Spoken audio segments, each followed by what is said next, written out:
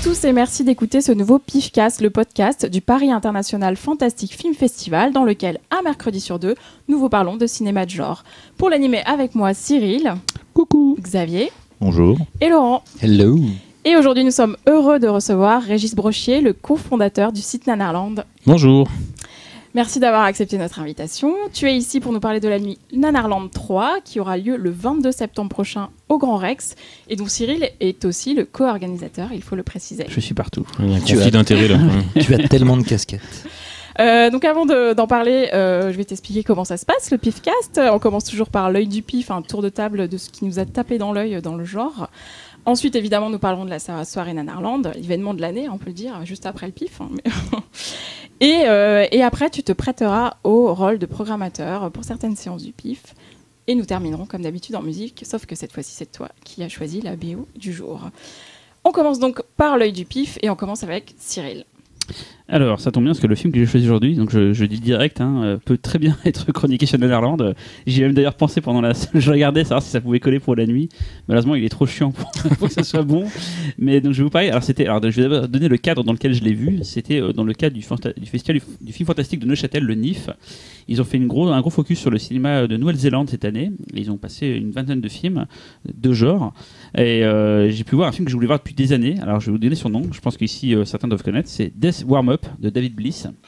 Xavier a l'air de, soupirer déjà. Laurent, tu l'as vu, non Mais j'en ai entendu parler. C'est de 84, donc c'est un petit peu avant Bad Taste. Alors, Bad Taste ayant été fait sur plusieurs années, je ne sais pas si Bad Taste a été commencé avant. En tout cas, Death Warm Up a vu le jour avant Bad Taste. C'est un film. euh, assez fauché, euh, assez gore euh, et surtout complètement débile. Alors je vais vous donner le, le résumé du film parce que même moi j'aurais du mal à vous l'expliquer. J'ai trouvé ce résumé sur un site web. Alors, sur une île isolée, un médecin fou, déjà ça commence bien, expérimente de la chirurgie expérimentale au niveau du cerveau sur des cobayes humains. Malheureusement, plusieurs de ces patients souffrent d'effets secondaires liés à la chirurgie qui les change en zombies meurtriers. Sur l'île arrive un groupe de jeunes en vacances. Dans la bande, un jeune homme est venu pour régler ses comptes avec le médecin qui, des années auparavant, l'avait hypnotisé et contrôlé pour tuer son propre père. Oh. Donc le film commence d'ailleurs par... Rien euh, que le résumé est nanar. le Moi, j'ai décroché à expérimente des expériences. En gros, il y a un savant fou, il a, il, a, il a trituré le cerveau d'un gars, le mec est devenu fou, il a été buter ses parents au fusil à pompe. On revient genre des années plus tard, on suit le gars qui est sorti de prison, et en fait, il est avec ses potes en tout, il va sur une île, et sur une île, il se trouve à tomber euh, sur l'île du savant fou, qui est en train d'expérimenter à nouveau, et il va Quel vouloir hasard. se venger, voilà quoi. Donc David Bliss, c'est un mec qui a fait quand même beaucoup de grands trucs, comme euh, My Grandpa is the Vampire et Virus Vampire. Euh, J'ai vu sur IMDb qu'il avait été viré de House 3, donc c'est quand même louche d'être viré de la, troisième, enfin, la deuxième suite de House, même si House 3 c'est un film très rigolo, mais il a été viré du film. C'est lequel déjà le 3 C'est celui-là qui s'appelle euh, The, Tor- The Horror. C'était celui-là où il y a le- l'acteur qui joue dans, dans Blade Runner. Là, C'est- le... Oui, mais non, ça c'est le 4 ça. Non, c'est le 3, ça. Non, c'est le 4, non? Non, c'est Dans le House 3, c'est Le, le, rip-off de Shocker? Le rip-off de Shocker, C'est c'est avec le Lance Henriksen C'est le celui-là. 3, celui-là. C'est Lance Henriksen dans le 3. Non, c'est avec le mec en Non, effet c'est qui joue. Show. euh, 3, oui, Torture Show, c'est ça. c'est le ouais. 3. C'est le 3. Et Ah, C'est avec le Ouais, mec y qui, euh, qui joue l'android dans Blade Runner. je me Voilà, rappelle le jamais son premier qui. nom. Ah, oui, euh, Ryan, oui. je crois ça, non, c'est pas Ouais, ça c'est ça, ouais. Bref, House 3, on s'en fout, parce qu'il a été viré. c'est pas le but Film du qu'il n'a pas fait. Euh, pour information. euh, Non, mais on le- préfère parler des House 3 en fait, c'est mieux que ton. Ouais, c'est plus intéressant de ce film, je vais, je vais en parler après. Juste pour information, et c'est un lien un petit peu avec le pif. Le film a gagné en 84 le Grand Prix du film festival du film fantastique de Paris, le Festival international du film fantastique et des science-fiction de Paris, fait par euh, à l'époque Alain Schlokoff et, euh, et les fantastiques. Il a gagné la Lic- Licorne d'Or en 84, donc j'imagine pas ce qu'il y avait en 84 en face à cette année-là, mais j'espère que c'était quand même voilà. Euh, on a vu une copie euh, restaurée 2K par la New Zealand Film Commission. Donc pareil là aussi, je pense qu'ils ont tellement peu de films en Nouvelle-Zélande qu'ils se disent bon maintenant qu'on a fait tous les chefs-d'œuvre, on va s'attaquer au fond du, du panier. Pour information, ceux qui ont peut-être pu le voir, le film est sorti en France à l'époque en VHS chez René Château Vidéo, donc c'était plutôt cool les, les jaquettes de René Château. C'était quoi le titre euh, français? C'était Death Warm Up. Ah, ils avaient pas- voilà, ils avaient gardé le même titre. Et donc vraiment, euh, bon, euh, c'est euh, c'est super cheap. euh, la caméra est assez aérienne, ça fait penser un peu à Street Trash, le côté euh, comment ça s'appelle euh, Steadicam. Et qui se balade pas mal et tout, mais c'est vraiment pourri, c'est surjoue, c'est mais c'est vraiment en fait j'ai vraiment pensé Régis à, à une- un potentiel euh, au départ je- enfin, au départ je pensais à, à passer le film au pif puis après je me suis dit non peut-être plutôt à l'extension collective pour le côté rétro puis après j'ai fait à la nuit à Irlande et plus plus, ouais, euh, euh, c'est vachement les- intéressant. On Les parlera, poubelles de. on parlera tout à l'heure justement de comment vous définissez. un bah voilà et euh, Ouais. là euh, plus ça passait plus je me suis dit non, non les, les- Et du coup, c'est quoi qui t'a fait. En fait, il y a pas, il y, y a une folie, mais elle est pas aussi euh, starbée que les euh, trucs qu'on peut voir d'habitude euh, qu'on qu'on passe dans la nuit, quoi. C'était, c'était Z, c'était plus Z Ouais. que, que Nanar en fait, euh, parce qu'il y a plusieurs gradations. Il y a le navet qui est juste un film chiant. Il y a le Z qui est fauché, mais qui est pas forcément nul. Mais genre un trauma, c'est un film Z par exemple. Euh, Enfin, pas tous les traumas, mais en général. Et t'as le nanar qui lui euh, transcende le tout. Enfin, on en parlera tout à l'heure dans la notion du nanar, mais voilà. Et celui-là ne rentrait pas du tout dans, la- dans aucune des cases. Il était juste euh, nul en fait. Voilà, Voilà, c'était mon film de. C'est ton coup de cœur. voilà, mon voilà, mon- À toi, Régis. Alors, euh, bah, moi, le dernier truc, euh, je sais pas, qui m'a un peu euh, marqué, surpris en tout cas, c'est euh, c'est une série, c'est le pilote d'une série, le premier épisode de, de Lost in Space sur Netflix, qui est en fait le, le- en fait, le remake de- d'une série des années 60, je crois. Euh, Il y a eu un film très oubliable euh, De Stephen Hopkins. avec, euh, comment il s'appelle, celui qui joue avec Fred- Joey, Ouais. Fred, voilà. Et la série, c'était Erwin Allen, je crois, à la prod. Ouais, c'est ça. C'est ça. Et, euh, et en fait, ça a été une euh, très bonne surprise. Je l'ai regardé avec mon fils, sans trop savoir, en me disant tiens, une euh, série plutôt jeunesse Netflix. Et, là, je sais pas, quand même une sorte de petite baffe derrière la tête, et j'ai pas tout de suite compris pourquoi. Et on a une impression de se trouver vers un peu plus que le simple premier épisode d'une série pour enfants. Et en fait, c'est, je pense avoir compris à la fin parce que c'est réalisé par Neil Marshall. Euh, et là, on se dit putain, le mec, en fait, il, il a quand même une patte, quoi, enfin, qui, qui fait que quand il prend, euh, il a fait aussi des épisodes de, Game of Thrones, de, de Games of, of Thrones qui sont assez, euh, enfin, je pense, que ça fait partie de ceux qui sont assez scotchants où on se dit tiens, est-ce que je suis encore devant une série, est-ce que je suis devant, devant autre chose? Et je trouvais que, en fait, d'un pitch super simple, il arrive à créer une tension.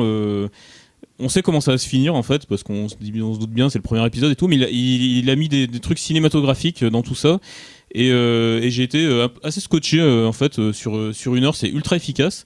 Et j'ai pas encore enfin j'ai commencé il y a peu donc j'ai pas poursuivi mais, mais je vais le faire. Et j'ai pris une petite claque sur ce sur ce truc qui confirme qu'en fait dans les séries euh, il y a des choses aussi euh, super intéressantes et que c'est vraiment pour eux quoi enfin entre les réalisateurs de, de cinéma euh, qui arrivent plus à s'exprimer forcément qui arrivent plus à, produire des films ou à, ou à les réaliser il y a, il y a- il y a des voix comme ça qui se qui se mélangent ça arrive souvent quand tu regardes les génériques de séries télé de retrouver plein de, de réals qui ont fait des très bons euh, films mais qui, euh, qui, qui bossent plus. Je pense euh, notamment à un des plus actifs qui est toujours sur les grosses séries de luxe, souvent de genre le réalisateur de Cube.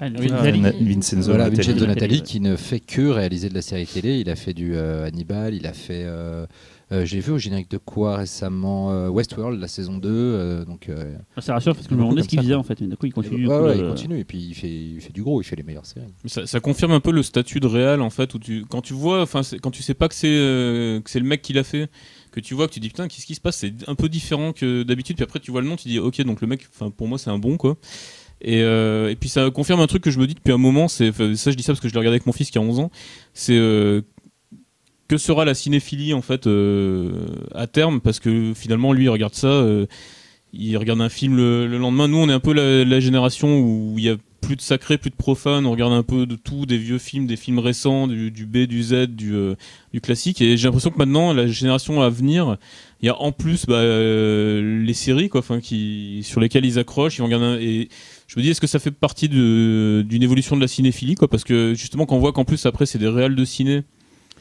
qui sont à la tête de- d'épisodes de, séries, qui a des budgets de fou, des effets spéciaux qui sont mieux que ce qu'on pouvait voir dans certains films euh, euh, il y a 15 ans. euh, voilà, ça, ça, pose question, mais ça peut être aussi rassurant. C'est marrant, j'ai enfin, réfléchi un truc au moment où tu as dit ça en fait, mais je me demande si les jeunes, pas, ils accrochent pas aux séries parce que les séries, c'est pas, il y a le côté justement premier épisode comme une sorte de, de découverte. C'est un film, tu le regardes, tu le regardes en entier, il fait une heure et demie, tu le regardes et voilà. Mais une série finalement, est-ce que c'est pas pour un jeune mieux comme ça, il peut se dire s'il va accrocher ou pas juste avec. Il goûte en fait. Ouais, il goûte, ouais, Ouais. c'est comme un teaser, comme un, comme un, un, un- un shareware comme disent les, les- les vieux quoi, mais voilà, c'est. Non, mais ça fait, en plus, ça fait partie de. Enfin, c'est vrai que c'est sous leur. euh, sous leur pouce quoi enfin c'est en gros euh, et quand ils allument la télé nous on avait le choix de mettre euh, un DVD ou une cassette ou de regarder ce que proposait la télé Euh, eux Le ben, RTF. voilà il y avait trois chaînes on était comme des dingues et tout et, euh, et eux en fait euh, ça fait partie de, de l'offre en fait donc ils se posent, je pense qu'ils se posent même plus la question en fait est-ce que je regarde un film une série euh, un- un- autre chose? Ils, bon, enfin ils, ils sont là dedans et je me suis dit que pourquoi pas en fait quoi. Ok. Xavier? Et ben, du coup, ça tombe très bien. Ah. Parce que moi aussi, je vais parler d'une J'ai vu série. l'épisode 2 de Lost in Space. Je vais vous en parler. Ce serait drôle. Euh, non, moi, je vais vous parler d'une autre série, une série sci-fi, qui a fini sur Netflix d'ailleurs, euh, il n'y a pas très longtemps. Donc, euh, qui est une euh, série avec Chris Meloni. Ah, Happy. Happy. Happy. Ah oui, j'ai vu passer ce truc-là. C'était sci-fi à la base? C'est à la, base c'est sci-fi et euh, donc en fait bon, le pitch est assez simple. hein. c'est euh, Nick Sachs, euh, un ancien flic ripou qui est devenu tueur à gages euh, pour pouvoir se payer sa coke et son alcool, qui va qui va avoir un gros contrat pour la mafia, qui va se finir avec euh, lui en train de faire une crise cardiaque. Et euh, quand il se réveille à l'hôpital, en fait, il se réveille en voyant une petite licorne bleue euh, qui lui demande d'aller sauver une petite fille qui a été kidnappée par un Père Noël méchant. Voilà. Donc en fait, il s'agit de l'adaptation d'un comics de Grant Morrison. Grant Morrison, pour ceux qui ne lisent pas les comics, c'est un grand. Et pour ceux qui lisent les comics, bah, Les Invisibles, Batman, enfin bon, bref. Euh, à la réalisation, et donc c'est là qu'on revient sur le sujet principal, c'est donc Brian Taylor, donc euh, du duo euh, de Les Crank, euh, voilà, exactement. Crank, Crank 2, euh, Mom and Dad, Ultimate Game. Ultimate Game. voilà. Et, euh, Et Ghost, euh, Ghost Ghost Rider. Rider 2. ouais, j'allais dire autrement John X, hein, qui est à peu près aussi bien, mais bon. Ultimate Game, c'est celui euh, avec Gerard Butler Ouais, où, c'est celui-là, où il ouais. boit un bidon d'essence. Ouais. Ouais. ouais, ouais. Celui-là, il peut finir. J'adore il- ce il est film. magnifique. Très tout Irlande, il peut finir Magique. celui-là, Il n'y a pas de problème. Il est magique. Et euh, ouais, bah du coup, Happy, en fait, c'est euh, c'est vraiment, euh, c'est vraiment une super série, quoi. Très très sympa, très très dynamique. On trouve vraiment la réelle qui, qui n'arrête jamais. C'est violent. Ah, c'est ultra gore. C'est ultra non violent, Ouais. c'est. C'est très simple, vous laissez voir le niveau de violence, vous regardez les deux premières minutes de- du premier épisode, vous saurez.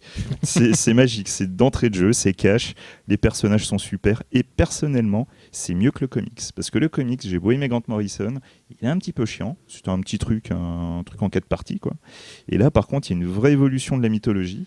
Et euh, il y a une deuxième saison qui a été commandée. Personnellement, je l'attends énormément parce que je me suis vraiment bien poilé devant Happy. Et, quoi. parce que moi j'ai vu la bande-annonce, mais c'est un peu à la Roger Rabbit, il y a des monstres, euh, il y a des trucs, euh, des trucs comme ça, des monstres En dans la fait- vraie en fait, quoi les- le- Les amis imaginaires. Voilà, les amis imaginaires euh, existent, enfin sans exister, et en fait ils sont représentés en dessin animé. Il y en a beaucoup dans le film, dans la Il y en a plusieurs. Et ouais. ils sont bien faits, c'est bien intégré, c'est bien. Ah ouais, ouais, c'est Ouais. vraiment super sympa, hein, vraiment. Moi je le conseille vraiment Happy, c'est c'est top. Quoi. Je, je l'ai vu passer, ça, ça, fait partie des problèmes, je trouve qu'il y a, c'est qu'il y a une telle offre en Ah, fait. putain, ouais. Ouais. Que tu vois passer le truc, tu fais, ah ça a l'air bien, et tu le mets dans tes favoris ou pas, et en fait après, euh, Mais tu c'est passes à d'autres trucs. Enfin, mais tu, euh, et justement là-dessus, à chaque fois que je parle de Happy, très souvent on me sort ça. C'est ah ouais, je l'ai Bah, vu passer, ça a l'air sympa, mais euh, Et en plus, bah, le pitch est tellement barré que quand tu vois ça, tu, tu sais pas trop ce que, enfin, à quoi t'attendre en fait. Et euh, à un moment donné, Mhm. c'est soit tu le lances et t'accroches, soit tu dis ouais, je le regarderai plus tard. Et puis il y a- il y, a une déferlante. Sauf mais que du coup, c'est- il a là, pas du tout été avant Netflix, il était pas du tout distribué en France en fait. Non, c'est non, non, c'est par euh, Netflix, il distribué. Mais c'est en. Sci-Fi, c'est c'est la série qui était sur Sci-Fi qui est passée ou c'est une nouvelle version, un peu comme Lost in Place, c'est un reboot, c'est quoi le principe Non, non, euh, Ah non, non, non, non, date non, de l'année non, dernière, hein, c'est- ça date de C'est l'année dernière. c'est Sci-Fi US. C'est Sci-Fi qui a produit. D'accord, d'accord, d'accord. C'est donc Diffusé sur euh, Sci-Fi US. j'imagine.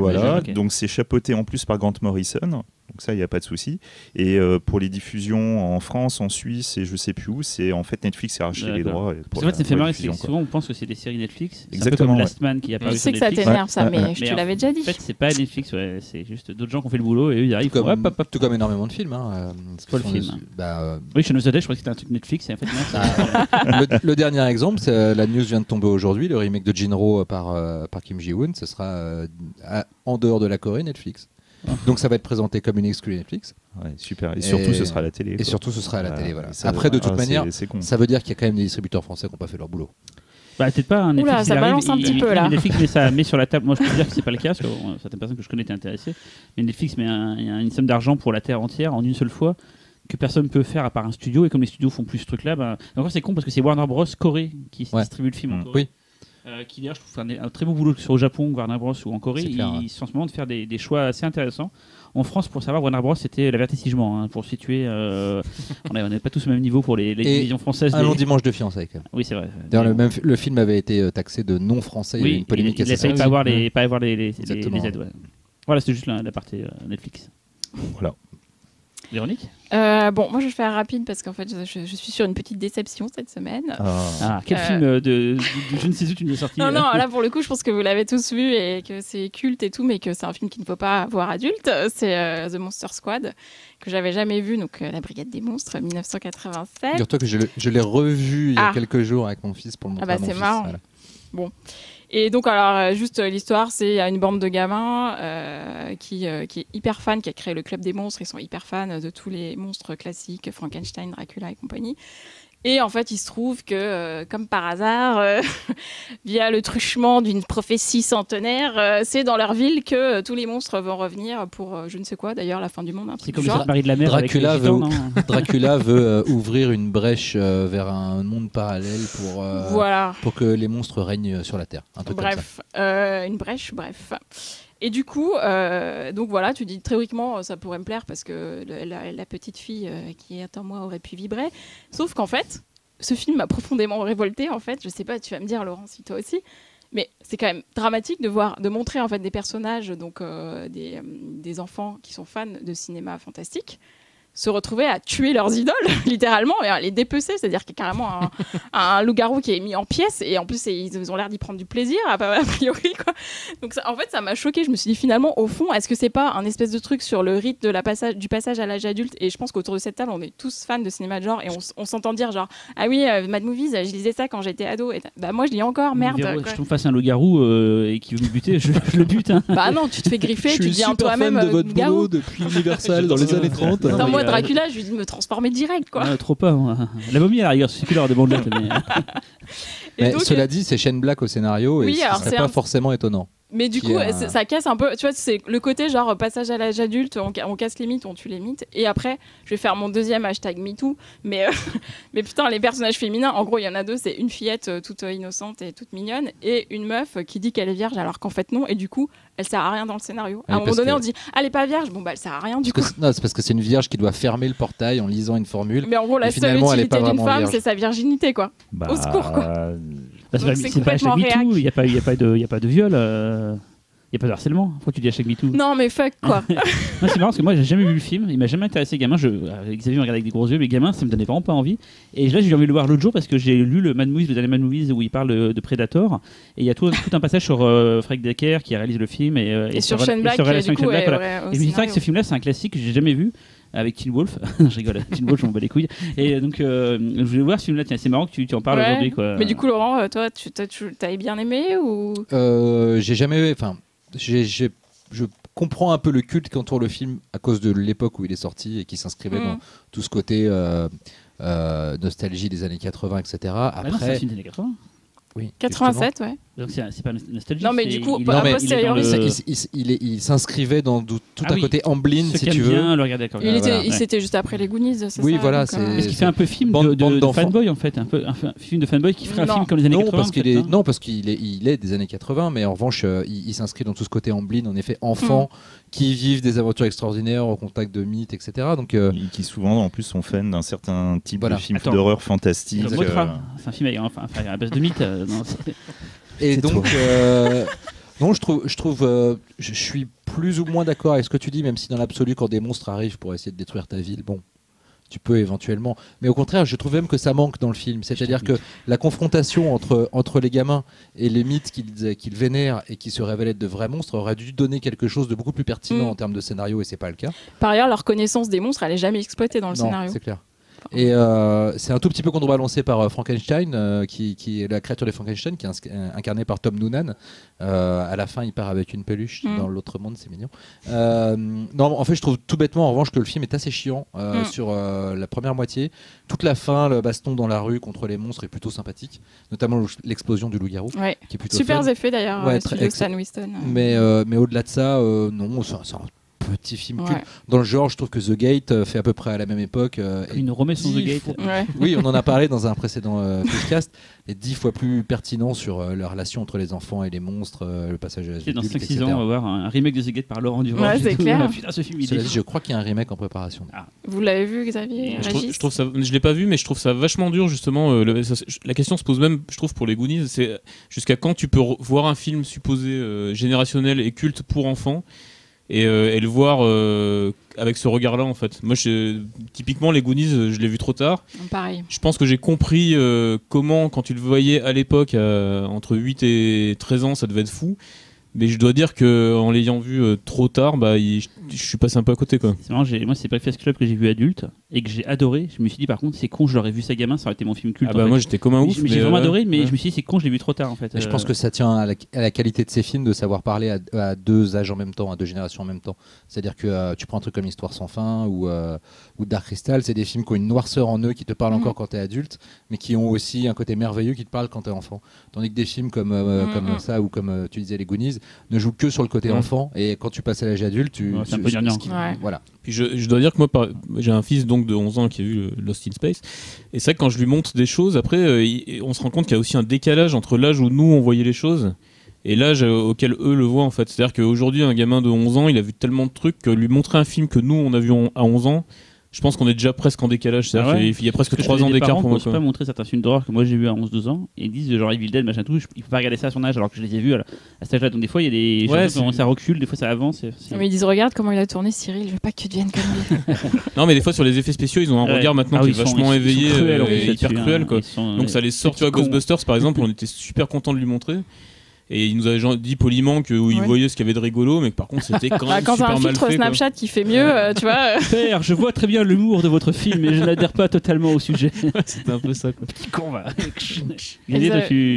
Bah moi en fait, euh, moi je l'avais vu euh, à peu, c'était à peu près l'époque où en plus je commençais à m'intéresser euh, au monstre universal, donc euh, forcément moi il y a, il y a- il y a un truc particulier Je crois que c'était l'époque où tu commençais à t'intéresser aux vierges qui n'étaient pas vierges.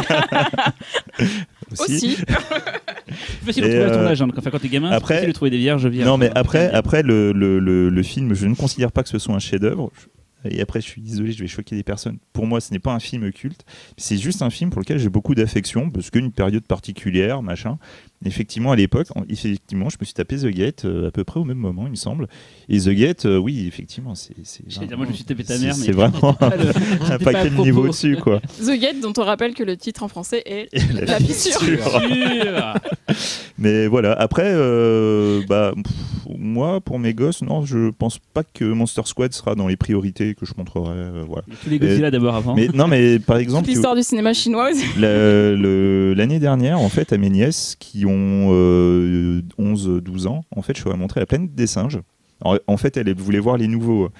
Je me suis permis de leur dire que c'était un peu trop violent pour elles et tout. Donc Ah je bah, mon, fils, mon fils l'a vu les trois déjà. hein. Ouais, bah, ouais. Et Bah, il, a, après, il- euh, il a vu aussi la première, mais peut-être à 8 ans, quoi. Enfin, le, Ah la ouais. première. hein. La première. euh, Du Parce que ju- justement, moi j'ai montré le- la version euh, Charlton Heston et en fait, euh, en regardant un peu avec elle, je me suis rendu compte qu'en fait, la version Charlton Heston, Elle est elle est bien. quand même est euh, ouais. Le, le début. En et en fait, Xavier, c'est le bâtard. Le, le gamin veut voir Batman, il lui met le Batman de 66. Tu vas commencer bien. par le Ah, début, l'ai tu vas lire tous les comics. non, mais c'est un chef-d'œuvre. Mais le gamin, il s'attend à Nolan et tout. Tu lui montres. euh, Batman. Avec mais tu lui fais croire que c'est celui-là, le Nolan. Mais si, tu diras à l'école que tu l'as vu et tout. Avec le bat-requin et tout. mais tu vois, pas, et du coup, tu peux avoir de bonnes surprises parce que bon, elles m'ont quand même posé des questions du genre, non mais c'est en couleur ton truc? Non mais eh, Oh. oh. Est-ce que ça format un 33 respecté euh, Bon, voilà, mais en fait, elles l'ont regardé et à la fin, je vous jure, le, le- le- le plan final, elles étaient tellement à donf dessus quand elles ont, elles ont compris ce qu'était la statue que tu commençais à voir, Ah oui, mais elles ont crié en même temps. Et ça, ça fait super Ah, ça plaisir. fait plaisir ça. Ouais, ouais. Comme quand j'ai montré Alien 2 à mon fils, qu'il a fait à la fin. Me demande même pas mon film préféré de ma vie. Ah. Moi, toi, Laurent, ton œil. Euh, Alien 2. Mon deuil. Euh, c'est un film français, c'est un drame.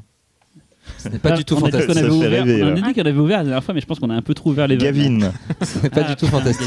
Ça date de 2017. C'est avec Denis Ménochet et Léa Drucker. Ça Ah, Jusqu'à la garde. beaucoup ouvert les vannes. Oui. Ça s'appelle Jusqu'à la garde. Euh, et c'est euh, sur le papier. Profonde. Christine Lagarde. Sur le papier, ce n'est absolument pas pour nous, puisque c'est l'histoire euh, d'un couple qui vient de divorcer. Euh, le mari est plutôt violent. Ils se battent pour euh, la garde de- du fils. Euh, il y a un- euh, une grande fille et un, et un petit garçon. Euh, le père arrive à obtenir une garde et il essaye par le truchement de l'enfant de se réimmiscer dans la vie de son ex. Euh, jusqu'à devenir extrêmement inquiétant. En fait, c'est un film de boogeyman Mm. dans un cadre social euh, extrêmement réaliste et c'est ultra tendu du slip en termes de traitement. C'est vraiment flippant. Euh, C'est-à-dire que pendant tout le film, tu as des scènes totalement normales, notamment une, une très longue scène de fête familiale dans une espèce de maison des fêtes de, n'importe quel bled, et, et où tu sais que le père risque de débarquer. Et il y a une putain de tension alors qu'il se dit à peu près jamais rien. Et euh, le film va comme ça en, en- en gradation jusqu'à vraiment devenir un film de boogeyman très brièvement à la fin, mais du coup t'es es vraiment accroché. Ça joue super bien. Ménochet, il est terrifiant. Il est, sou- il est souvent mortel, Ouais, Ménochet. ouais. Euh, là en plus il a pris la, il a pris de, la, de la masse euh, et Encore, du gras pour être euh, Oh là là. encore plus impressionnant. Donc le mec est terrifiant dès qu'il ose la voix. Tu, Le gamin tu est, flippes. est mortel aussi. Ouais. Le, le gamin il est incroyable. Léa Drucker super bien. Franchement. euh, Le gamin d'ailleurs jouera dans le prochain film de Fabrice Duvels. Tout à fait. Adoration. Tout à fait. Et, euh, et je regrette qu'on n'ait pas pu en parler dans Mad Movies. Et euh, c'est euh, parfois la limite euh, de, notre, euh, de notre possibilité de tout voir et aussi du travail des attachés de presse. Euh, C'est-à-dire qu'on aurait complètement pu parler du film. Mais euh, quand tu regardes. Quand tu vois la bande-annonce et quand tu regardes le sujet, tu ne te rends absolument pas compte de le traitement que va avoir le film. Et personne n'est venu nous voir en disant Eh, c'est peut-être pour vous, venez le voir. Mais comment tu que les attachés de presse, je sais pas pour parler mal de leur travail, mais puis c'est dit en une seule seconde, tiens, ça peut intéresser Mad Movies ou les fantastiques ou autre et tout. euh. Bah, il suffit juste de connaître les canards auxquels tu es Oui. censé présenter tes films. Ouais, mais du coup, je, pas. je- je- Ah, je- c'est c'est pas tout. que je les comprends, c'est que euh, c'est oh, c'est peut-être ouais, par finantise, je sais pas quoi, mais je, vois très- je, je- je peux comprendre pourquoi ils n'aient pas pensé à vous en fait. En tout cas, je peux comprendre le Ouais. pourquoi. Oui, oui, je peux comprendre, mais c'est vraiment dommage parce que je pense que le film euh, méritait Mhm. qu'on en parle. Et, Parce que euh, Aladdin, et vous c'est- en avez parlé par exemple? Non, Et Mais ça, c'est un fantastique. choix. Oui, voilà. c'est vrai. Vous étiez Ils vont invité. se rattraper avec Voilà, la avec 2. Aladdin. Ah, deux. le deux. Euh, donc voilà, euh, je sais pas qui l'a vu autour de Moi, je l'ai table. vu. Non, pas vu. Mais du coup, j'ai très envie de le voir. Alors, moi, juste pour. Et qu'est-ce qui t'a motivé à le voir Ouais. du coup Enfin, Euh, pourquoi, bah, du coup, on m'en a parlé euh, en bien après sa sortie. Euh, J'avais raté la sortie salle et, euh, et il est sorti en vidéo, donc euh, je, je l'ai, enfin, rattrapé en VOD euh, la, la semaine dernière. Et euh, franchement, euh, franchement, euh, j'ai pris une claque. Moi, j'ai vu au cinéma parce que j'ai un peu le pif pour les bons films. Oh, oh. Euh, non, non, j'avais, euh, enfin ouais, j'en avais eu des très très bons échos et du coup, je suis allée le voir en salle et vraiment, euh, ça prend à la gorge euh, et le personnage de l'enfant, comme disait euh, Cyril, est vraiment vraiment ambigu et il y a vraiment ce côté thriller. Et en plus, les, les jeunes euh, acteurs jouent bien, ce qui est quand même assez rare dans le cinéma Bah, français. tout le monde joue bien, en plus. Pas acteur, ils font vraiment euh, enfant Ouais. réel. Ouais. Ouais, tout le monde joue bien, ce qui est assez C'est rare. bien écrit et Léa Drucker, je suis assez fan. euh, de- Mm. Alors moi je suis très fan de Léa. Drucker Ouais. aussi. Et moi je vais dire un truc qui va être bizarre, que les gens vont pas comprendre, mais moi j'ai pris C'est que pour un film t'a document. sexuellement excité. Non, je l'ai pris pour un documentaire. D'accord. Parce c'est que bizarre, à, ouais. à peu de choses près, j'ai vécu pareil dans mon enfance avec mes parents. D'accord. ok. J'ai jamais été aussi loin que dans le Oh. film, mais non, limite, je, c'est- je me suis dit, c'est vachement bien documenté parce que ça se passe vraiment comme ça, quoi. Donc moi j'étais un peu en mode, euh, ah, c'est, ça rappelle des souvenirs, c'est cool. Donc voilà, donc mais c'est pas passé comme ça, moi. J'ai- Mes parents sont jamais battus, machin et tout, mais voilà, c'est juste pour dire que euh, j'ai trouvé que c'était très bien documenté, comme tu dis, la montée en tension et, et la fin.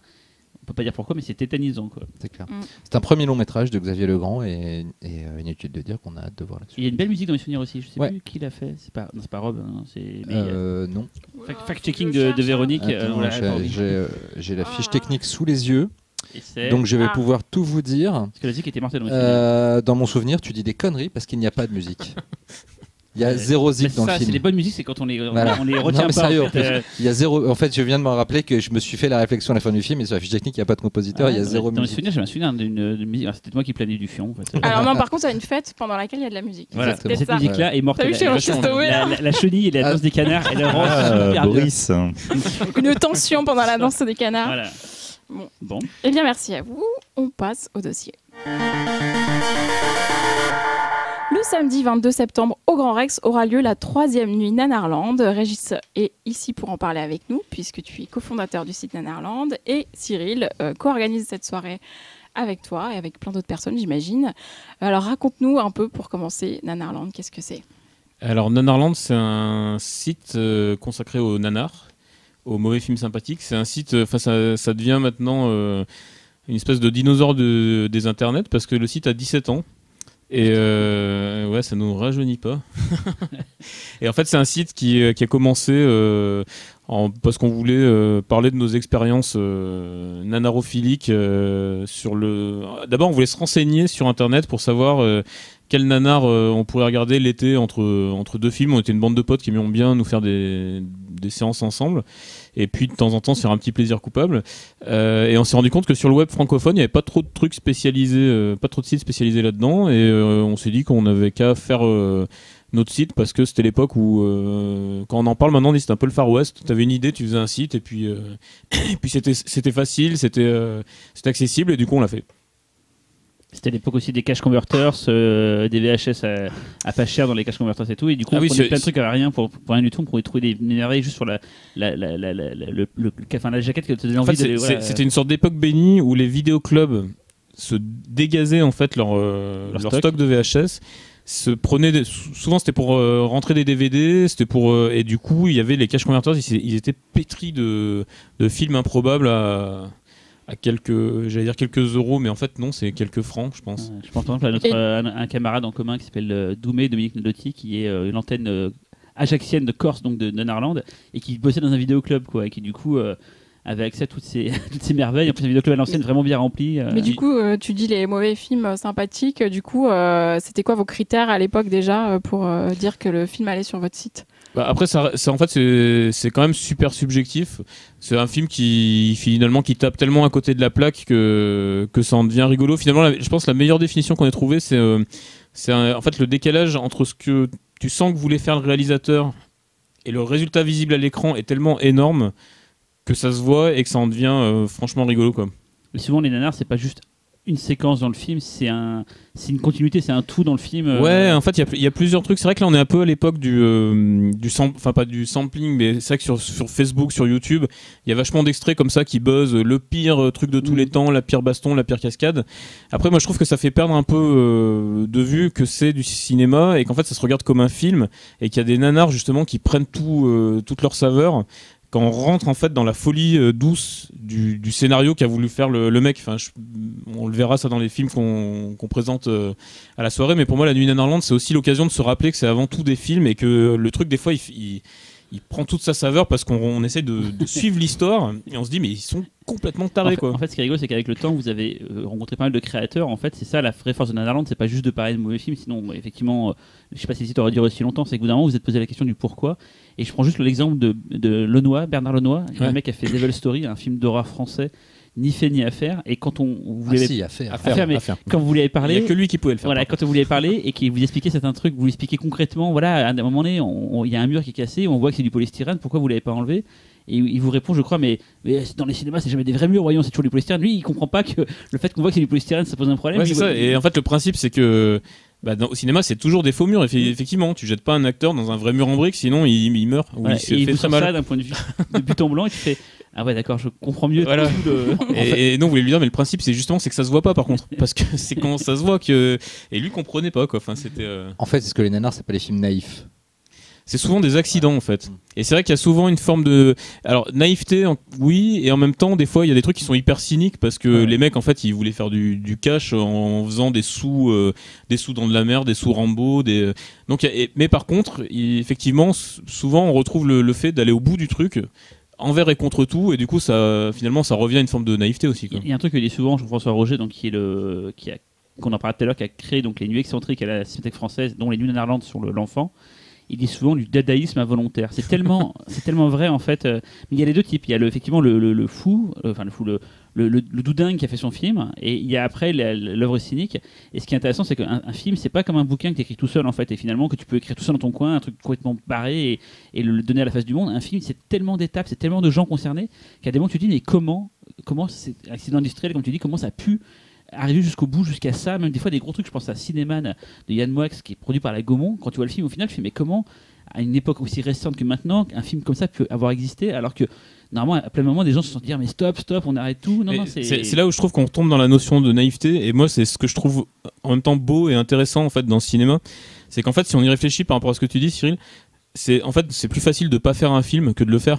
C'est-à-dire qu'à un moment, euh, quand on te demande de faire euh, un Rambo avec euh, avec euh, pas de budget aux Philippines, avec euh, des figurants, des mecs non professionnels, un acteur américain qui qui comprend pas ce qu'on lui dit, à la limite tu rentres chez toi, tu fais autre chose quoi. Enfin, c'est du en- vécu ce que tu viens de dire en plus, c'est vraiment des, Ouais. des trucs réels. euh. le, on, a- on fait un truc là sur le, le cinéma turc pour euh, la prochaine saison de, de Nanaroscope.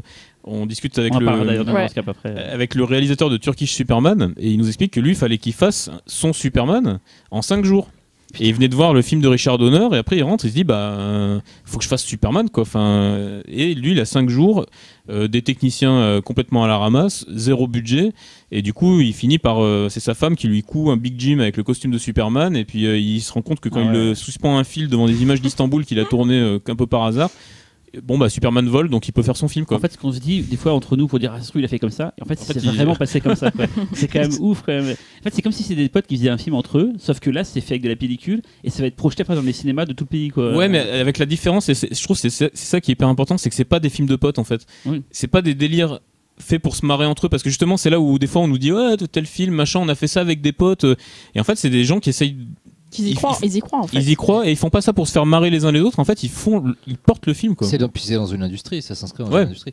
À la différence, en effet, des, des- des films qu'on peut voir maintenant, euh, des films de potes, Sharknado ou d'autres. Je pense à euh, les espèces de moyens métrages euh, ninja euh, de- Ouais, qu'on a pu voir, qui sont très récents, euh, comme le a fait le, le collectif RKSS euh, au Canada, ou trucs comme ça, qui sont des trucs qui sont des nanars euh, conscients.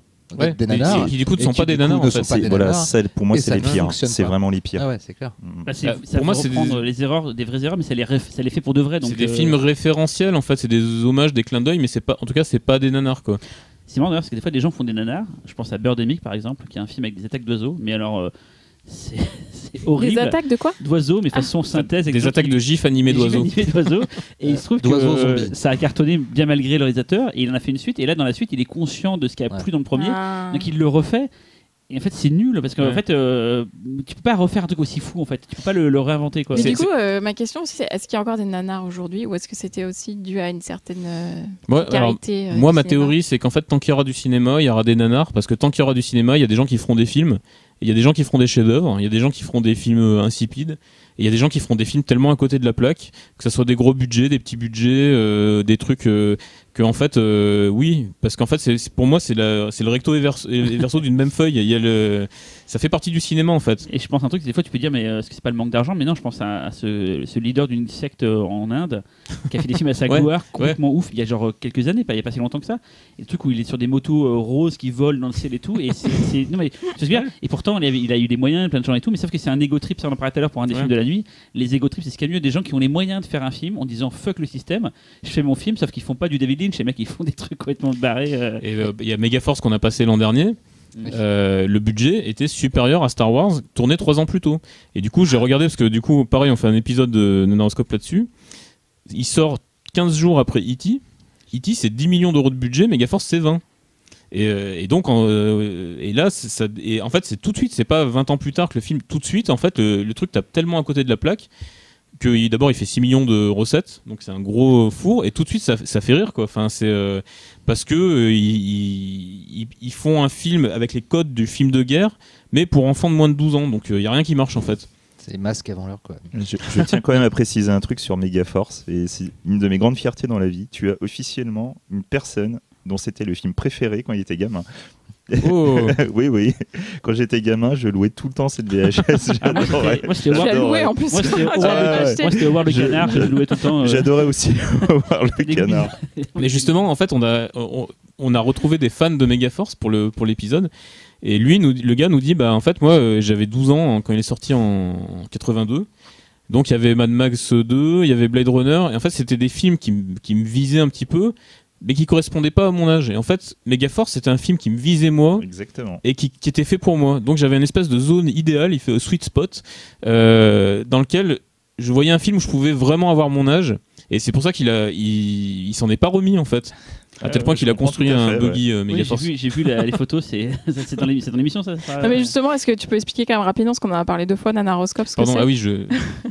Euh, non, en fait, c'est bah, une série, euh, une web série documentaire en fait sur le nanar. C'est une extension un peu, enfin qu'on fait en collaboration avec. euh, donc c'est sur arte.tv euh, et c'est avec la, la participation de, de Nanarland et, euh, et c'est justement ça va dans ce que dit Cyril. En fait, pour reprendre un peu l'histoire du site, c'est vrai qu'on s'est assez vite rendu compte que les films étaient super marrants, mais que les histoires derrière les films Mm. étaient sans- souvent au moins aussi drôles, au moins aussi folles, voire plus en fait. Et du coup, on a assez vite voulu aller. euh, En fait, l'idée c'est de se moquer des films, ça on peut pas dire le contraire, mais pas forcément de ceux qui les ont fait, parce que souvent quand on retrouve les gens qui les ont fait, d'abord on se rend compte que souvent on leur a jamais euh, demandé comment ça avait été fait, on leur a jamais en fait donné la parole. Souvent ils sont contents de. Pas, pas tout le temps. Et sinon, c'est exutoire un petit peu, non il y a un une peu- forme, voilà, les acteurs, les actrices, machin, ils sont Ils ravis de, parler, de ouais. pouvoir dire en fait, mais qu'est-ce qui s'est passé quoi. Enfin, la fille qui a tourné avec Bernard Lenoy, euh, Ah oui, c'était son premier film, il lui a dit ouais, ça va être Hollywood. Ouais, c'est Hollywood, machin, tu vas être une star, on va faire mieux que les Américains parce qu'on a inventé le cinéma en France et tout. Et en fait, euh, donc elle allait voir le film le jour où il est sorti à Chalon-sur-Saône, je crois. A la première séance, elle a regardé, elle est sortie, elle a fait Vous pouvez l'enlever de l'affiche Et enfin, bah non, euh, contractuellement, faut qu'on le passe encore 3-4 jours. Et, et elle a arrêté le cinéma. elle a changé de métier, quoi. Et du coup, elle était super contente. Elle a fait euh, une interview, je pense, hein, dans sa vie. Et du Euh, coup, c'est, en fait, c'est un- c'est- je vais rebondir un peu aussi sur ça. En fait, Nanarland, donc c'est à la base un site web, mais très vite vous avez atteint aussi le réel. Je dis pas que les web n'est pas réel, mais vous avez fait des livres. Vous avez fait donc avec euh, la, la société française les nuits excentriques, on en, on en parlera après.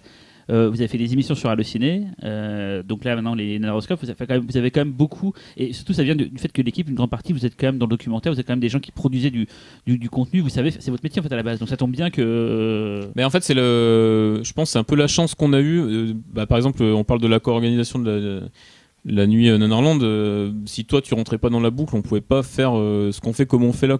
Après, justement, la chance de, je trouve, que c'est un peu la beauté aussi de, de, ces projets internet, quoi. C'est de, on fédère des gens par l'intérêt de ce dont on parle, et puis aussi des fois par euh, bah, par l'intérêt de ce qu'on peut faire avec, avec ça. Quoi. Enfin, organiser une soirée, sortir un bouquin. Il y a François Co qui a géré, qui est journaliste, qui a géré le, le- La coordination du la livre, coordination des, des deux livres. Moi, bossant dans l'audiovisuel, j'ai pu m'occuper des, des escalades Nanarland effectivement et de Nanaroscope.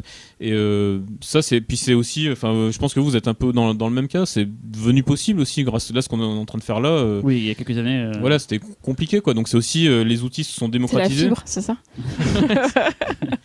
Non, mais ça, ça- ça- quand je dis dinosaure du web, en fait, c'est vrai que quand on a commencé, on pouvait rien faire. Quoi. On pouvait juste écrire des textes sur des films et éventuellement mettre une photo qu'on scannait euh, à- à- derrière le, Pas de vidéo à partir à de la VHS. On pouvait c'est- pas faire de capture d'un film parce que les films en version euh, numérique sur l'ordi, on, on les avait pas. Il n'y a, pas, a de DVD. euh, Donc y avait- commencé, les euh, premiers ouais, trucs qu'on a illustrés, mais- c'était des gens qui prenaient en photo leur télé, euh, qui mettaient pause et qui faisaient des captures d'écran euh, à la route, quoi. Enfin, sur le. Ouais. Et puis euh, on, on pouvait pas mettre des extraits audio, des extraits vidéo. faut expliquer que Nanarland est né à l'époque où il y a eu Jackie, euh, Jackie Tuning, je sais pas quoi, là, les trucs. euh, Ah oui, enfin, toute cette époque-là. de- Jackie C'est Touch. quoi Jackie Touch, voilà, c'était les premiers sites web, on va dire, un peu drôles en France. Il y avait, il y avait Nanarland, il y avait, euh, il y avait euh, Jackie Touch sur les photos de tuning. Je me souviens, c'est les débuts du web vraiment euh, francophone, quoi. Vous êtes vraiment Je des sais pas si dinosaures. c'est hein. je sais pas si c'est glorieux. mais- En tout cas, vous êtes toujours là et vous avez fait des nuits alors qu'il n'y a pas de nuit de Jackie Touch. Et je rêve d'aller à une convention de. Jackie Touch. Quoi. Enfin, euh, En fait, c'était un truc sur les tunings, sur les pires voitures tunées. Et les mecs, ils prenaient en photo quand ils voyaient des voitures euh, Ils envoyaient aussi. Mais dégueulasses. c'était vraiment, bien. les, pour moi, c'était vraiment les. Je, me- à l'époque, je mettais vraiment dans le côté les, les- les- les sites web drôles de l'époque. Et après, c'est vrai qu'en plus, au début, je dois dire, on avait une approche un peu comme ça.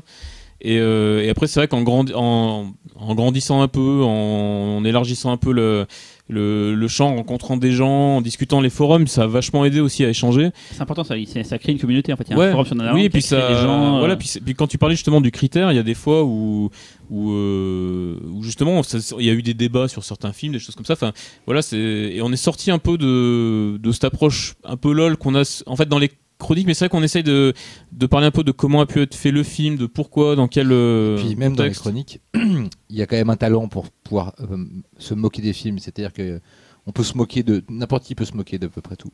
En revanche, le faire avec euh, intelligence, un vrai humour et un vrai talent euh, d'écriture. Euh, par contre, c'est pas donné à tout le monde. Moi, je me rappelle euh, au début de Néerlande, quand ce n'était que de l'écrit, avoir pleuré de rire devant certaines chroniques, mais je n'en pouvais plus. Je les faisais lire avec, à mes potes et tout, et c'était, euh, il y, a- un vrai talent, et c'est le, on va en venir, on va en discuter, mais l'évolution de la, façon dont le nanar est aujourd'hui consommé par une certaine génération qui est venue après, euh, c'est pas du tout la même chose. C'est-à-dire qu'il n'y a, pas de- il y a pas de recul et il n'y a pas n'y d'intention pas- il y a pas journalistique. d'amour non Et il n'y a pas d'amour. Et c'est juste se moquer pour se moquer. Vous, ce que vous avez toujours fait, c'est de montrer en effet que ces films sont dignes d'intérêt.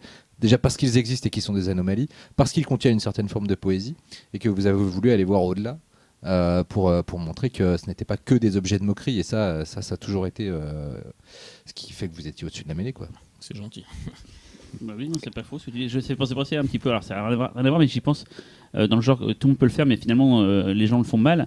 Ça fait penser un petit peu à Antoine Daniels qui fait What the Cut, qui fait, fait du commentaire de vidéos rigolotes sur le la web. sodomie aussi. Mais sauf que lui, il le fait tellement de façon à sa façon qu'il rend le truc drôle en fin de compte. C'est ça que vous parlez d'un mauvais film. Je suis sûr qu'il y a d'autres sites qui ont dû être lancés quand Nanarland doit être fait. Et finalement, on n'entend plus parler parce que très vite, Après, c'est la, de- la chance d'avoir pu fédérer aussi. On, Ouais. on a fait plein de rencontres euh, en fait via les forums. Enfin, c'est vrai qu'au début, quand on a lancé le truc, on a ouvert le forum, on s'est dit tiens. Peut-être qu'un jour il y a des gens et en fait on se rend compte qu'il y a des gens euh, qui parlaient entre bah, justement la Corse, Paris. euh, faut savoir que vous êtes à la Euh, base, vous êtes de Grenoble tous, hein. donc l'équipe est grenobloise à la base, c'est pas un truc parisien, machin et tout. Et c'est des gens qui étaient Mais moi j'étais de Lyon à l'époque, je vous ai rencontrés grâce à ça. Et la je, je première trouve que nuit, le, euh, le web, enfin, c'est bête hein, de dire ça, mais quand je repense aux gens qui faisaient avant des, des fanzines qui avaient autrement plus de mérite que nous, quoi. Euh, parce que faire des, des fanzines en contactant des comédiens, des réalisateurs, sortir le truc à l'écrit, le distribuer, enfin, nous on a, aussi euh, eu cette chance, je pense, d'avoir accès à des choses hyper facilement, de pouvoir écrire un mail euh, en cherchant un peu sur internet, trouver le mail d'un acteur un peu improbable, lui faire une demande d'interview. Les réseaux sociaux, ça a encore plus, facilité maintenant le- les prises de contact, etc.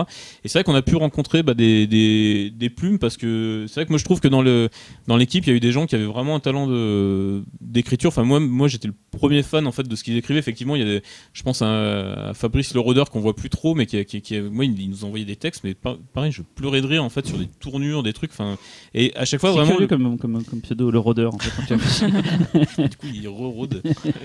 et, et du coup, c'est vrai que je trouvais qu'il y avait un talent pour euh, parler du film de manière drôle, sans forcément être méchant, et pourtant en allant un peu loin. Après, je comprends aussi que ça puisse énerver. euh, c'est là où on tombe dans la subjectivité du truc, quoi. C'est-à-dire qu'il y, a des- il y a des gens qui aiment bien au premier degré certains films dont on parle. Il y a une base de données qui commence à être assez énorme. Il y a un système de notation où on n'a pas tous le même avis.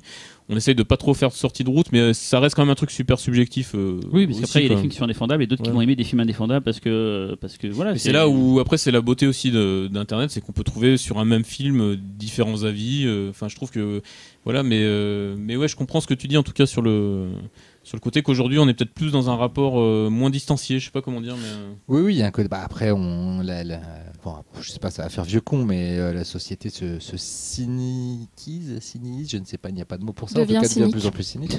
bah ouais, mais bon, il faudra, inventer un mot quand même. Et, euh, et que, euh, et que le- il y a euh, des façons d'aborder le nanar aujourd'hui euh, par certaines personnes qui sont extrêmement cyniques. Et en fait, surtout, et c'est déjà, je l'avais déjà remarqué dans les nuits excentriques, etc., c'est que euh, regarder un nanar, euh, il est plus important d'avoir une réaction drôle au nanar que euh, de l'aimer. C'est-à-dire que je, dans la salle, c'était à qui crier la vanne la Ouais. plus drôle, le plus fort possible pour que ça fasse rire toute la salle, au détriment du film qui passe à l'écran. Bon, alors, une ou deux vannes de temps en temps, ça me pose pas de problème, mais quand ça devient un sport national, ça devient un peu relou. Et y a- j'ai vu passer une émission un jour sur le web où euh, c'est des gens qui regardent un nanar et qui se filment euh, en train de rire du nanar. On ne, on ne parle quasiment pas du film, ils s'en branlent de qui l'a fait, etc. Tout ce qui est important, c'est les vannes qui balancent sur le film. alors ça c'est un truc en fait qu'on a depuis au moins, enfin vraiment très longtemps dans la ligne éditoriale. C'est vraiment un truc auquel on tenait sur les escales, sur le nanaroscope, sur la star, c'est le film en fait. Voilà. C'est-à-dire que c'est- c'est pas euh, fait pour valoriser euh, quelqu'un. Le- les escales à Nanarland, qui on nous avait demandé d'incarner, c'est-à-dire que donc on a, il y a Fabien qui s'y est collé euh, hyper brillamment, mais ça restait quand même euh, du lancement de rubrique où on parlait de film en fait. Et le but c'était pas d'écrire un sketch sur quel, Mm. par quelqu'un qui nous ferait rire sur un film, mais c'est plus de lancer et après de parler du, du film. Mais ce qui est drôle, ça doit rester le, le, film. Si on essaye d'être plus drôle que le film, Voilà. euh, c'est là où, surtout après quand on est sur, je trouve, de l'audiovisuel, où le film, à, à la limite une chronique écrite, on est quand même obligé de raconter quelque chose euh, qu'on peut pas voir, quoi. Euh, mais après, une fois qu'on est dans l'audiovisuel ou dans ou dans la projection, je trouve que c'est le film qui fait rire, quoi. Enfin, c'est Mm. c'est l'accident, c'est Vous le. n'êtes pas des acteurs, vous n'êtes pas là pour euh, faire les drôles sur un film. Ouais, vous, ouais. c'est juste, faut parler du film et, et basta. Et c'est un peu la ligne qu'on se fixe en fait. Essayer de pas euh, être drôle à la place du film. Enfin, je sais pas comment le dire, mais en tout cas, c'est la star, c'est le film quoi. Et pour Et on- revenir sur les Oui. nuits, justement. Oui, ce que euh, j'allais dire, ouais. on peut en venir aux nuits maintenant. Et justement, euh, en parlant tout à l'heure, il parlait des rencontres. Il se trouve que c'est par une rencontre que finalement tout a démarré. quoi. C'est que vous aviez sur le forum euh, Mister Klaus, Clément Roger, euh, le fils de Jean-François Roger en fait. Et c'est lui qui a permis de faire le pont. Il faut, faut quand même lui rendre hommage. Ouais, qui Jean-François Roger étant. directeur de la Cinémathèque française, euh, journaliste au Monde, enfin plein d'autres trucs. Et c'est, c'est, je crois, si je me trompe pas, euh, je je vais essayer de le continuer, mais c'est que le, la Cinémathèque déménageait du Palais de Chaillot pour aller à Bercy. Et là, je te laisse continuer. Et du coup, euh, Jean-François nous a contacté parce que euh, Clément, effectivement, lui avait montré le site et s'était dit tiens, euh, on faisait des nuits euh, avant, euh, des nuits bis, je pense, où ils avaient fait des nuits euh, aussi de films euh, X. Il continue aussi à faire des, des séances Ouais. bis Ouais, un ouais, vendredi ouais. sur deux. Mais euh, enfin, pour moi, Jean-François, c'est un des mecs justement qui a, qui a désenclavé ce cinéma euh, euh, et qui, qui fait un boulot en fait euh, assez, assez dingue justement de de, de, de programmation les qui classiques aussi. Ouais. Il n'y a pas de qui, barrière. enfin, qui est dans la, la vraie lignée de la cinémathèque où il n'y a pas de barrière, Voilà, tous les films doivent être niveau, montrés. Enfin, c'est euh, et, euh, et du coup, il nous a dit bah tiens, on déménage, on voudrait faire une soirée un peu une nuit festive. euh, où on passerait des nanars, euh, est-ce que ça vous dit? Alors nous on était bah, comme des dingues quoi, parce que le truc nous tombe dessus comme ça, et évidemment euh, la cinémathèque française, et on n'avait même pas idée en fait de. C'est un one shot. hein. Ouais, et puis on n'avait pas idée en fait de ce qu'ils avaient quoi. Donc euh, nous on arrive on dit ouais, on pourrait passer des petits montages de VHS machin. Il fait ouais ouais et faut pas que ce soit trop long. Des petits, on fait des modules d'un quart d'heure donc c'est devenu les cuts euh, excentriques où on fait un espèce de zapping de ce qu'on a vu de pire. Et là après eux dégainent des films en 35 mm complètement fous que que- qu'on qu'on- qu'on rêvait de voir, enfin qu'on qu'on avait vu éventuellement euh, en VHS. La première année je crois qu'il y avait Black Ninja, il y avait euh, The, la- the- machin, the, Head with- the- the Frozen Head, je sais pas quoi. ah oui, il y avait- Frozen Head, Brain, Il y avait euh, Super Sonic Man. Supersonic Man. Et il y avait un post-apo genre euh, Ouais. et, euh, je italien. ouais, il y avait le euh. C'était en quelle année ça? C'était en 2000. Ça fait 13. C'est la 14 13, 14 ans, ouais, ouais, 2004, 2003, tout ça. Je Quoi. crois que c'était 2003. Et là, ils nous sortent ça, plus des sélections de bandes annonces complètement Ouf, ouf. tarées. Au Ouais. karaté, t'as karatéké, euh, Ouais. il faut battre le chinois tant qu'il est chaud. Enfin, ils vont chercher. Et eux, en fait, ils se sont fait hyper plaisir en allant chercher des trucs qu'ils avaient Qui quand même du mal en à fait, passer. ouais, L'idée c'était limite pour montrer plein de trucs dans le stock qui, jamais, qui sortaient jamais en fait. euh. Mais c'était un one shot, c'était vraiment prévu pour être un one shot à la base quoi. Et là, je dois rendre hommage à Cyril quand même, qui m'a fait mourir de rire sur le- la projection de Black Ninja. Quand il y a la mort la plus lente, l'agonie la plus lente de la, la femme du héros et qu'il a gueulé Mais tu vas mourir, connasse Et qu'il a fait rire euh, environ 350 personnes. euh. Ah, donc tu fais partie de. Oui, mais la toute première. donc- Ah, Mais ouais. moi mais aussi, c'était- la Il toute première où je suis allé, euh, j'ai aussi gueulé des vannes. C'était un, c'était un strike. Après, justement, c'était pas la mitraillette à truc, là, c'était Pim. euh, là, Après, c'est Cyril, hein, de toute manière. Cyril, il marche dans la rue, il voit une, il voit Punchliner, une tranche de jambon, il y aura 20 vannes derrière. Ouais, donc, mais euh, l'idée c'est surtout de dire qu'il n'y a rien d'écrit en fait. Je, on peut des fois reprocher à des gens de faire des soirées ils vont donner du prêt à rire aux gens pour dire voilà vous devez dire tel truc à tel moment machin et tout. Les Nuits Nanarland en tout cas et excentrique, les gens trouvaient tout seuls sur le film parce que souvent des films que personne n'avait vu et trouvaient un truc con à dire c'est assez marrant. euh, ouais, ouais, on se rend compte euh, qu'il y a une contre Mafia, il y avait un, des mecs avec des cagoules Le rouges, des mecs avec des cagoules bleues, mais ils disaient le rouge, le bleu et c'est venu spontanément et c'est ça qui est beau en fait. Et alors, ce qui est euh, beau, c'est un peu comme les, comme les lacs du Connemara à la, à la- à la fin des mariages. On sait pas pourquoi. Le canon. tout le monde chante ça et tout. Et ben, en Espagne, ils faisaient pareil. El ro- rojo et le machin truc. Et donc, c'est c'est- l'international du nanar. c'est la, magie du film parce que c'est un film espagnol. Et, euh, et d'ailleurs, j'en profite pour euh, parce que du coup, il y avait le réalisateur de Karaté contre Mafia qui est un, un des des climax qu'on a eu dans les nuits récentes. C'était pas l'année dernière, celle d'avant. Ouais. Et en fait, il y avait le réalisateur qui était là. Et on s'est souvent posé la question de la confrontation euh, du réalisateur avec son- euh, voilà, avec le, le public. Et en fait, il a juste passé la plus belle soirée de sa vie parce qu'il a eu une standing ovation euh, ouf, euh. de ouf. Donc après, moi, je l'ai revu en Espagne où il expliquait qu'en fait, en gros, il y avait lui et Almodovar qui avaient eu ça. Le mec était, était très drôle en fait. hein. Il a dit sur scène ouais bah, j'ai fait ce truc là, éclatez-vous quoi. Et en fait, ce qui, ce qui, ce qui m'a fait plaisir, c'est qu'en sortant, donc ils avaient, fait- ils avaient déjà fait pas mal de projections en Espagne.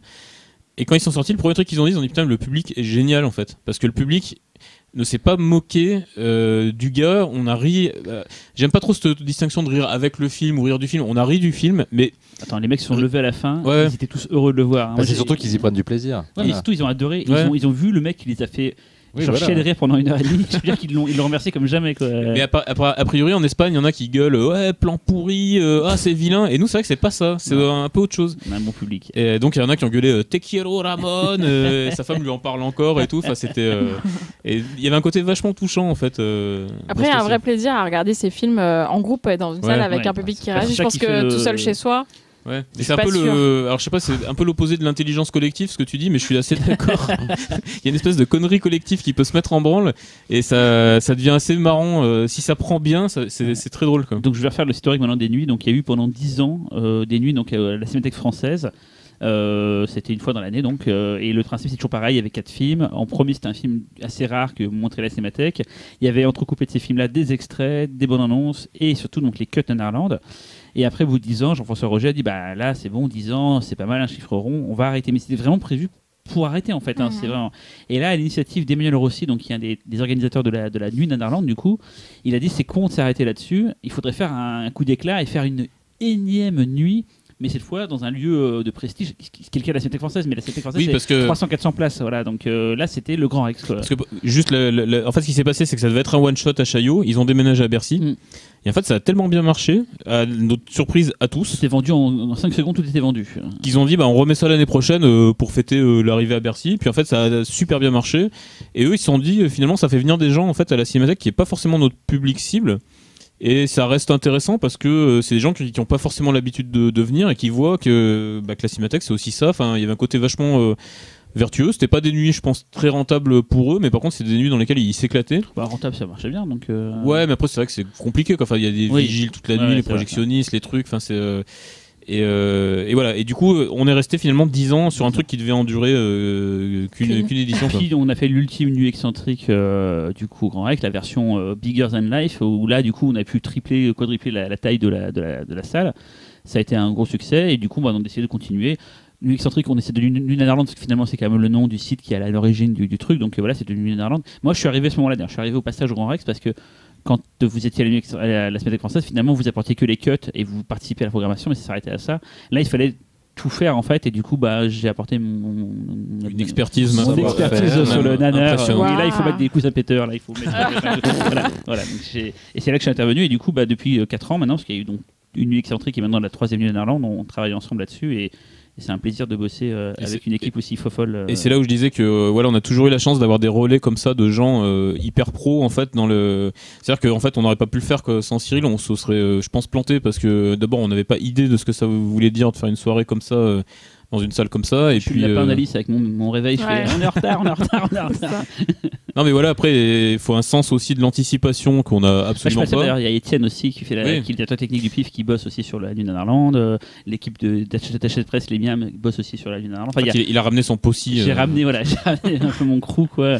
Et même, bah, du coup, c'est un truc qui se faisait aussi beaucoup, on n'en a pas parlé, c'est qu'il y a des quiz aussi. Il y a euh, Rico et, euh, et Fabien, du coup, euh, Richard et Fabien, qui, qui toute la nuit vont euh, une sorte de fil conducteur avec des, des quiz avec la salle qui participe et tout. Enfin, c'est c'est plein de trucs, hein. c'est vraiment. euh, c'est c'est pour ceux qui l'ont jamais fait, parce que c'est aussi de vendre cette nuit à des gens qui ne Est-ce que connaîtraient du coup, pas. on euh, parlerait pas de cette troisième édition et bah voilà. Ah ouais, tiens, bonne idée. Allez.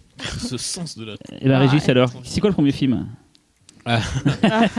Alors, le premier film, c'est marrant. Alors, on peut, on peut rembobiner à la toute première nuit excentrique. Jean-François Roger nous contacte. euh, on se dit, tiens, qu'est-ce qu'on pourrait passer? Premier film qui vient à l'idée, c'est ben, faut passer Whitefire, Vive pour survivre, le diamant de Jean-Marie Palardi. Trois titres. hein. Trois titres pour un seul film. euh, ça suffit même pas en fait. Il en faudrait 14 quoi pour. euh, et encore. Euh, donc c'est euh, c'est un film qui, qu'on- bah, qui a un, un truc un peu fondateur pour nous.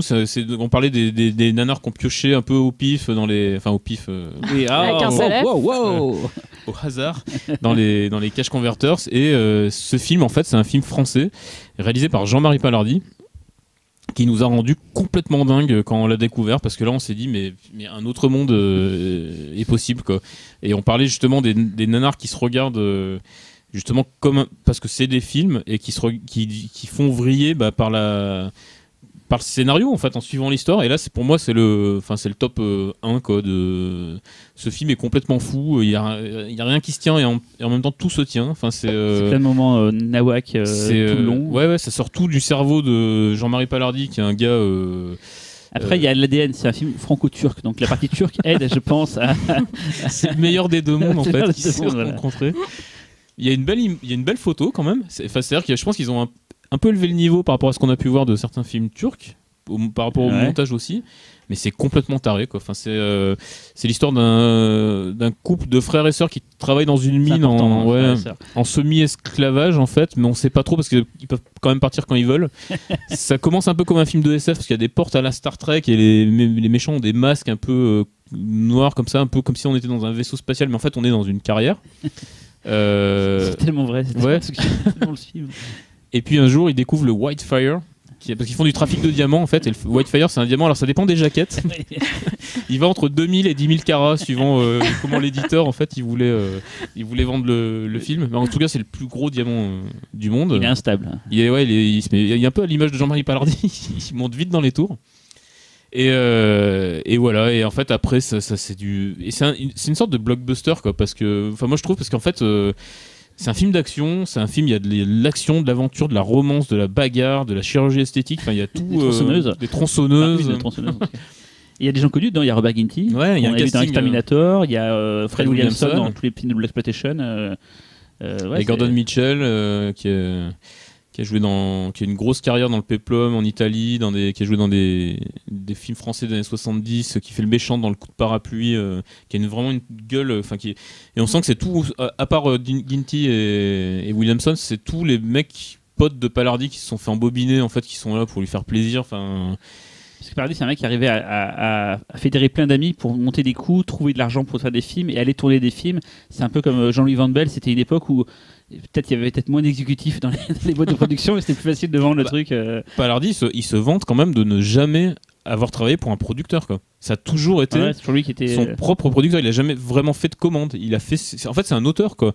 Il a fait ses films. euh, là, c'est un scénario de qui sort directement de sa tête. Après, c'est évident quand on voit le film, mais euh, dès le générique, c'est marqué écrit. Euh, produit, écrit, réalisé by et c'est signé à la main John Murray Palardi parce qu'en plus c'est Bah oui. international. John. John Murray. Enfin bon, c'est ouais, c'est- enfin, c'est- je suis hyper content. On, on a donc ça fait 14 ans qu'on essaie de le programmer et on a trouvé quelqu'un grâce c'est fou. à ouais, qui, qui, hein.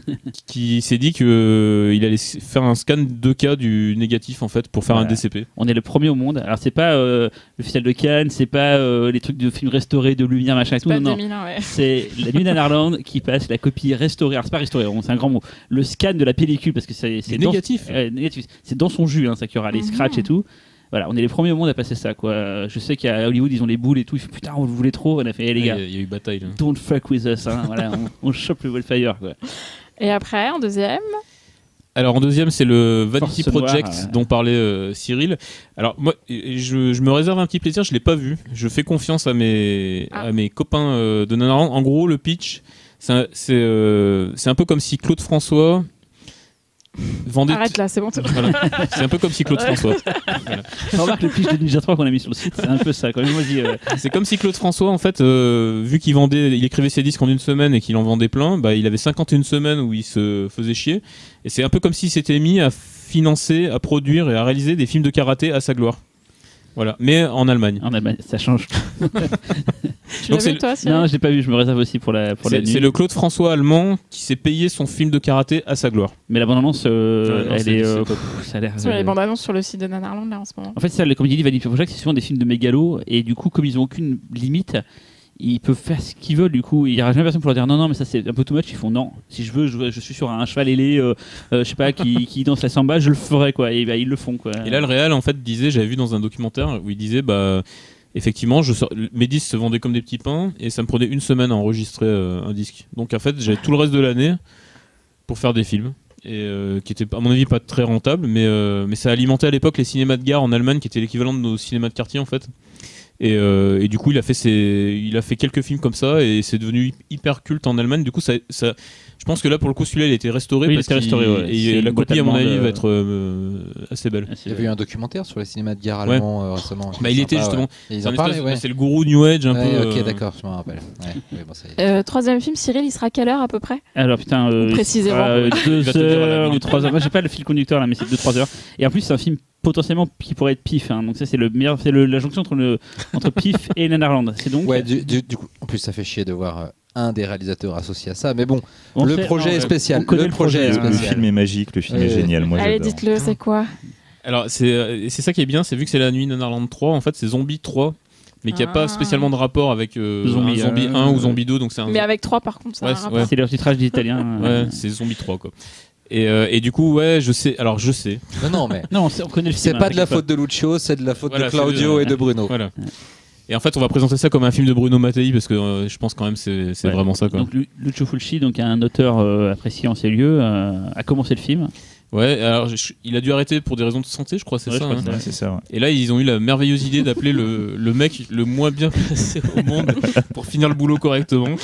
C'est un peu comme quand t'as un artisan, tu vois, qui commence un mur, puis il tombe malade, puis t'appelles ton, je sais pas, ton cousin qui, qui fait ouais, qui fait vaguement, ça une fois, voilà, qui a vaguement fait ça et tout. et qui te finit le truc, mais à la nawak quoi.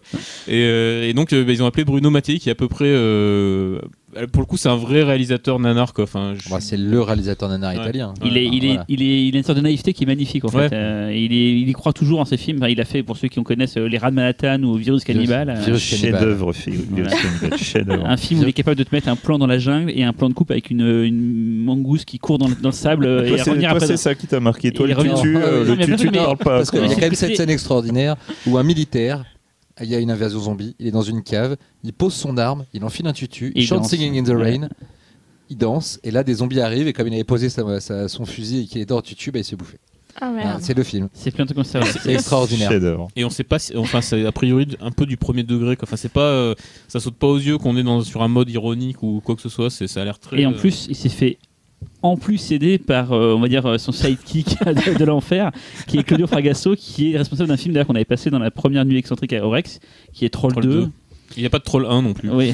Si, il y a un troll, je crois, il y a un troll, mais Enfin, c'est pas le- la suite. de- ça n'a rien à voir en fait. C'est un troll 2, mais un peu opportuniste quoi. À peine. Mais si un jour vous voulez voir un presque bon film de Bruno Mattei, il y a quand même L'autre enfer que j'aime bien. Ah oui, l'autre enfer est très Ouais. bien. Sorti Voilà. chez Néo. Tout à fait. D'ailleurs, j'étais en train de trier mes DVD l'autre jour, et je voulais celui-là, celui-là. Ah non, celui-là, je le laisse dans sa boîte, je le laisse dans la bibliothèque. Merci, ça me fait plaisir. Tous les néos. Donc voilà, donc c'est un bon réalisateur qui débarque, qui fait débarquer, enfin qui débarque d'un film et on engage des mauvais pour finir et ça donne. euh, Bah, c'est aussi ça d'ailleurs qui peut faire devenir un film nanar, c'est l'histoire qu'il y a derrière, c'est-à-dire que de voir le carnage, parce que du coup ce qui saute aux yeux c'est le non-talent, euh, et c'est du coup le, bah, le, le- le crash, qu'on on assiste à un crash euh, en direct, quoi. donc on voit ce qui aurait pu être bien, et, souvent c'est une, je trouve que c'est une des vertus euh, de- des films estampillés nanar, c'est qu'ils ils- des fois ils aident aussi à percevoir à quel point faut être talentueux pour faire un bon film. Quoi. Et à quel point en fait euh, bah, les gens de talent ils ont vraiment un truc inné. En gros, quand on a vu le film de, de requin de Bruno Mattei, euh, Cruel Jaws par exemple, on comprend à quel point Steven Spielberg est, est doué. Quoi. C'est c'est important pour l'histoire du cinéma d'avoir vu en fait euh, ce genre de film parce que ça permet de il faut mieux comprendre comment un succès peut être fait, comment un Ouais. film peut exister, un bon film peut exister. C'est des fois en voyant les erreurs qu'on peut faire que. Bah, quand tu vois Karaté contre Mafia, tu comprends à quel point les bons films de karaté, le découpage, Ouais. le montage, le, le placement de la caméra, il est primordial. Et en fait, c'est des trucs qui sont faits à la base pour pas se voir. Oui, c'est réfléchi. Ouais, mais je veux dire, quand tu regardes un bon film, tu, tu te rends pas compte Ouais, tu penses pas au que montage. c'est bien en Ouais. fait, parce que tu le regardes, tu le prends comme un film quoi. Et quand on voit un mauvais, tu fais ah oui, mais en fait le film, il y a un vrai talent quoi. Enfin il y a. Ça rappelle le sketch de Cadet Olivier sur euh, est-ce que le montage est important au Mhm. cinéma. Et Les là, voix de doublage et là- aussi. là- et, et là, t'as as un truc complètement non sensique de deux personnages qui sont censés se parler. Les raccords sont catastrophiques, ça dure 5 minutes. C'est Oui, parce que- pourri, puis à la fin, c'est oui, le montage est important. Parce que le montage, c'est par définition, c'est un truc que tu fais pas attention. Quoi. Si un montage se voit, ça veut dire que soit c'est voulu, c'est forcé- c'est voulu exprès cut, soit euh, c'est raté. Mais si, sinon, euh, c'est fait pour que justement tu, tu te dises pas tiens il y a une coupe, tiens il y a une coupe, tiens il y a une coupe quoi. Enfin, Et alors, ce qui est très agréable au Nanarland, c'est que souvent, justement, vous introduisez les films en racontant ces anecdotes et que Bien vous euh, nous donnez quelques clés pour euh, justement repérer certains défauts et qui sont hyper appréciables quand- ou juste après quand on voit le film. Qu'on dit, euh, par exemple, je me souviens, je crois que c'est la deuxième nuit, qu'il y avait un gars qui changeait de perruque et vous, Ah disiez, vous disiez faites bien attention, il va, à un moment donné, il va se couper les cheveux pour telle et telle raison et ils vont devoir faire des, des scènes. ça, ça, en deux mots, c'est un truc magique qu'on trouve que dans le nanar. C'est le mec en fait, enfin qu'on trouve pas que dans le nanar. C'est un peu le truc Bernard Lenoir, mais c'est que quand c'est dans des bons films, ça se voit pas trop. Bah, je pensais au film The Sniper de Clint Eastwood où à un moment donné il y a un bébé en plastique dans la main et ça s'est vu en fait. Mais ce genre de truc, c'est dans les nanars, c'est Même- commun en fait. Mais là, dans un Plus truc- récemment, t'as Justice League Ouais, elle a avec la moustache. moustache Ah oui. numérique Ah oui. euh, de Henry Ah, Cavill. Mais ça m'a fait penser à Samurai. Cop. Hein. C'est- En, en vrai, Enfin, je me suis, ouais. je me le suis dit quoi. tu retrouves dans le. C'est Parce que Samurai Cop, en gros, c'est le mec, il, il fait son film, l'acteur pense que tout le tournage est fini, il se rase la tête pour faire des nouvelles photos avec une. Il avait les cheveux longs jusqu'à la Francis Lalanne, et là, le réal vient le chercher, il fait, hey, il reste des trucs à tourner, et lui dit bah. Et donc, il lui a pris une perruque, la première qui venait, lui a posé sur la tête, et il a fini ses films en faisant des gros plans. Donc ça, ça, ça, ça marche pas du tout quoi. Il y avait quasiment un mulet d'ailleurs, Cyril, euh, pour ta. Euh, ton je information. tu parles, quoi. Et juste en mi moi j'ai une anecdote rigolote, c'est qu'à l'époque sur Canal dès qu'il y avait euh, le programme de Canal qui tombait, tout ce qui était film d'horreur, euh, machin et tout, je, je- je regardais, je téléchargeais, je regardais, enfin je téléchargeais. j'enregistrais, je regardais le film. Et je vis Zombie Le 3 lapsus. à l'époque là-dessus, et c'est mon premier nanar en fait. Mais je ne savais pas, j'avais aucune notion du nanar à l'époque. Je vois ce film-là, et même moi, tout jeune, je me rends compte qu'il y a un problème. À la fin, je me souviens, c'est fini, je fais. C'est quoi ce film bizarre qui se termine comme ça Je- Ça m'avait marqué. Je me suis dit, mais et longtemps j'ai enfoui ça dans ma tête. Je me dis, On n'a pas le droit de faire ça à des voilà, enfants et, des- tout. des- des trucs, je me dis, mais c'est quoi ce film Et, mais, alors, pourtant, j'étais gauche, je pense pas que j'avais le recul pour comprendre le nanar. Et ben, et ben, ça m'avait marqué. J'ai fait putain, ce film il est pareil. Moi, c'était Apocalypse dans l'océan rouge, sauf que longtemps, pour moi, le film était vraiment bien. Dans tout- toute une partie de ma jeunesse, j'ai- j'ai tenu ce film comme un de mes souvenirs de, de- Ouais. de visionnage Ah, télé regarde-moi avec précis. C'est comme Abyss, c'est comme C'est pas mieux, hein. et euh, et c'est vrai que quand je l'ai revu 5-6 ans plus tard, je me dis, mais putain, mais qu'est-ce qui m'était arrivé quoi.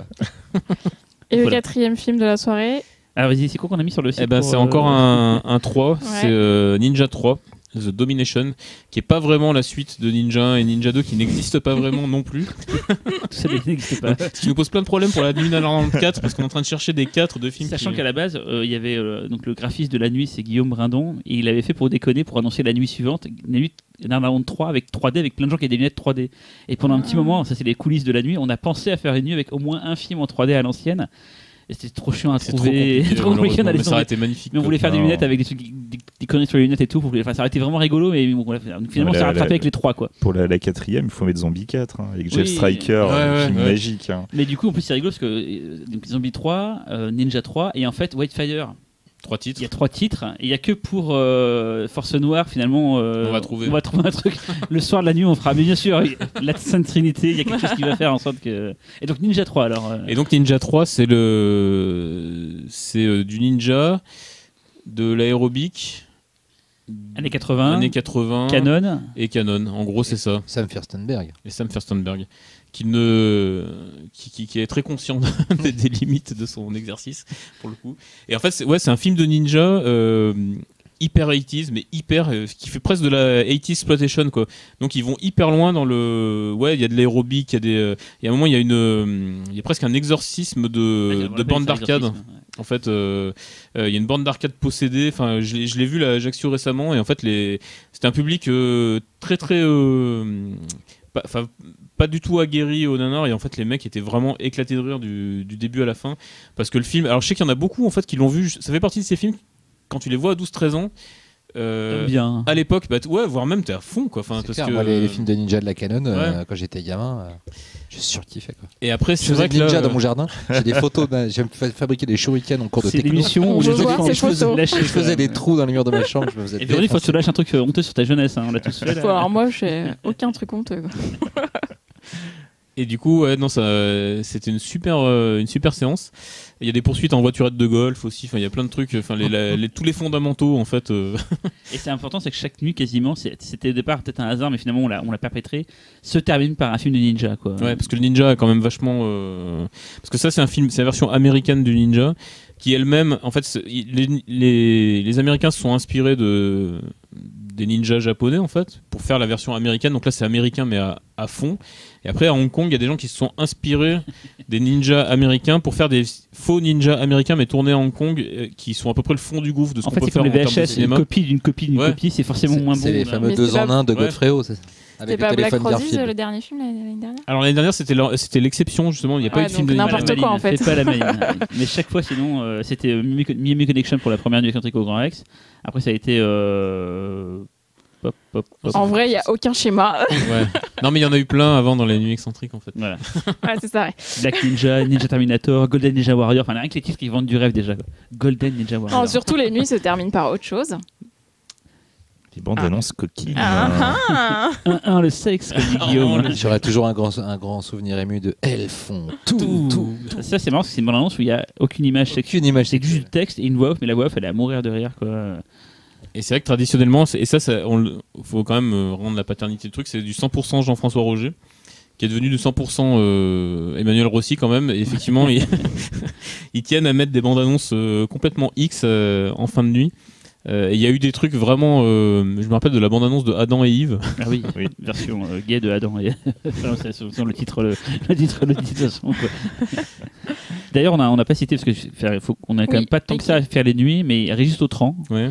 Qui est euh, le, le wingman de, à moins que ce soit l'inverse, de Régis Brochet, donc notre invité, qui est avec euh, bah, Régis, un des créateurs de Nanarland et qui est une des têtes pensantes de la nuit Nanarland. C'est que depuis le début, on a parlé d'Emile Rossi, de Ouais. Jean-François Roger, qui sont. En fait, c'est c'est un petit quatuor de tête, on va dire comme ça et tout. Et effectivement, il y a euh, Régis Autran. euh, Oui, puis euh, bah, après il y a Rico, il y a Fabien, il il y y a- y Doumé euh, en Corse qui a, qui a fédéré plein de gens, qui nous envoie plein de, plein de films. en fait, à l'année, voilà, Enfin, les gens vous envoient des extraits ouais. de films et vous C'est vrai que là après c'est un truc c'est assez fondamental mais c'est vrai que c'est un gros collectif en fait euh, bah, on le dit depuis le début qui n'existe que parce que euh, il y a des gens qui d'abord qui s'investissent dedans et puis qui ont des, des savoir-faire, des passions, des, des envies qui Des correspondent à ce qu'on a envie de faire et qui permettent de développer le truc. Quoi. Enfin, ça c'est vraiment hyper important. Sinon le site il aurait duré 15 jours. Quoi. Et d'ailleurs, vous avez un podcast aussi, euh, juste Ouais. pour compléter votre panel de. Alors j'ai appris, tout récent, ouais. j'ai appris tout à l'heure que ça se dit. euh, j'ai dit à des gens, ouais, c'est un peu cross-média, ils m'ont fait oh, 2006, tout pourri et tout. Donc on dit que maintenant c'est l'omniproduction. Ah, Omnichannel, moi j'aurais dit. Omnichannel, d'accord. Véronique travaille dans le, dans le domaine. hein, Elle est, elle est à la pointe. elle connaît Si tout on ça. s'était quoi. vu avant, j'aurais pu riposter. Ouais, mais j'avais fait exprès de pas te le dire. Euh, Donc c'est un podcast euh, Ouais, produit par Riviera Ferrade euh, qui est mensuel, je crois, c'est ça, Régis? Euh, qui, qui est un peu que, que le, le- petit il, a, il a une distribution d'anard en fait. voilà, voilà, un peu à la zob. Cette expression. je, je la connaissais en plus. c'est Régis. je- ah, je- il a, il a, c'est pas de lui, mais il utilise une expression que j'adore. C'est Ah. si c'est flou, c'est qu'il y a un loup. voilà, qui vient de Martine Aubry. Et Régis, voilà, je te tiens à te rendre hommage aujourd'hui pour cette expression que j'utilise partout maintenant. Si c'est flou, c'est qu'il y a un loup. Ce qui, est Oh, hyper vrai. on remercie. Martine surtout. Et Martine, on te Qui permet juste de, pla- de placer que Cyril a créé les, les sandwichs Martine aux, aux hallucinations euh, Parce qu'ils étaient au bris. collectives parce qu'ils étaient au bris. Et m'a dit Martine Aubry. voilà. Oh Là, là, on a tout. Punaise. Euh, du coup, Régis, on va te faire enlever ta casquette nanar et on va te faire mettre une cagoule pif Cagoule. Cagoule pif. Cagoule bleue ou rouge rouge. Euh, et du coup, tu vas t'improviser euh, programmateur pour le pif. Tu viens au pif chaque année, n'est-ce pas? Bah, je suis de Grenoble, alors malheureusement. Oh, là. tu peux pas faire semblant. Oui, j'adore le pif. Et donc, euh, qu'est-ce que tu choisirais pour la séance culte? Alors la séance culte, moi je choisirais euh, Private Parts, un film de Paul Bartel que j'ai découvert complètement par hasard un jour en solde dans un Virgin Megastore. Euh, le film était, je sais pas, l'affiche m'a, la jaquette m'a parlé. Paul Ba- Bartel j'aimais bien avec les, euh, la course à la mort de l'an 2000, des choses comme ça. Euh, et je me suis dit tiens, j'en avais jamais entendu parler et, et en fait je l'ai, je l'ai regardé et grosse grosse claque euh, parce que je trouve qu'il y a une euh, c'est un film qui raconte l'histoire d'une fille qui passe de la côte est de la côte ouest à la côte est qui arrive à New York dans un hôtel euh, qui est tout euh, malsain tout tout chelou c'est un film de 1972 Alors non, elle reste à Los Angeles en fait. je me suis posé la Tout- question ouais, non, tout se passe à Los Angeles. parce ouais. qu'il Ouais, parle de Broadway à un moment alors Ouais, alors après, oui, c'est pas très clair, mais non, ça tout se D'accord. passe à Los Angeles. enfin, en tout cas elle passe de voilà elle, elle Mais a elle fugué vient, de chez elle ses vient de la parents campagne. ouais. Elle vient de- et elle euh, dans un, donc elle arrive dans, en tout cas dans un hôtel dans un milieu très très euh, très très urbain. Et c'est euh, euh, voilà il va se passer plein de trucs dans l'hôtel il y a plein de rencontres c'est un espèce de huis clos après au final dans, dans cet hôtel. Et, et c'est un film que j'ai dont j'ai jamais trop entendu parler. Et, et je pense que justement en, en séance de, de festival le présenter à des gens qui le qui le connaissent pas il, il y a moyen de voilà que ce soit Clairement le meilleur film de son réalisateur euh, pour moi. euh. Ah, Ouais. moi j'aime beaucoup Eating Raoul. Eating hein, Raoul, non, mais justement. j'aime bien mais Eating deux- Raoul, Les deux mais sont en termes vraiment. de, euh, en termes de, je trouve de, de mise en scène, euh, ce- Private Parts qui est son premier, euh, si je ne m'abuse, est son meilleur. En plus quand même un, un décalage, un, un décalcage absolument fou de psychose. Ouais. C'est-à-dire que c'est la Ouais. même histoire. Ouais. Une jeune fille qui a volé un butin, qui arrive dans un hôtel, qui est confrontée à euh, un fils étrange et à- qui a une drôle de relation avec sa mère, sauf que ça part beaucoup plus loin que Psychose.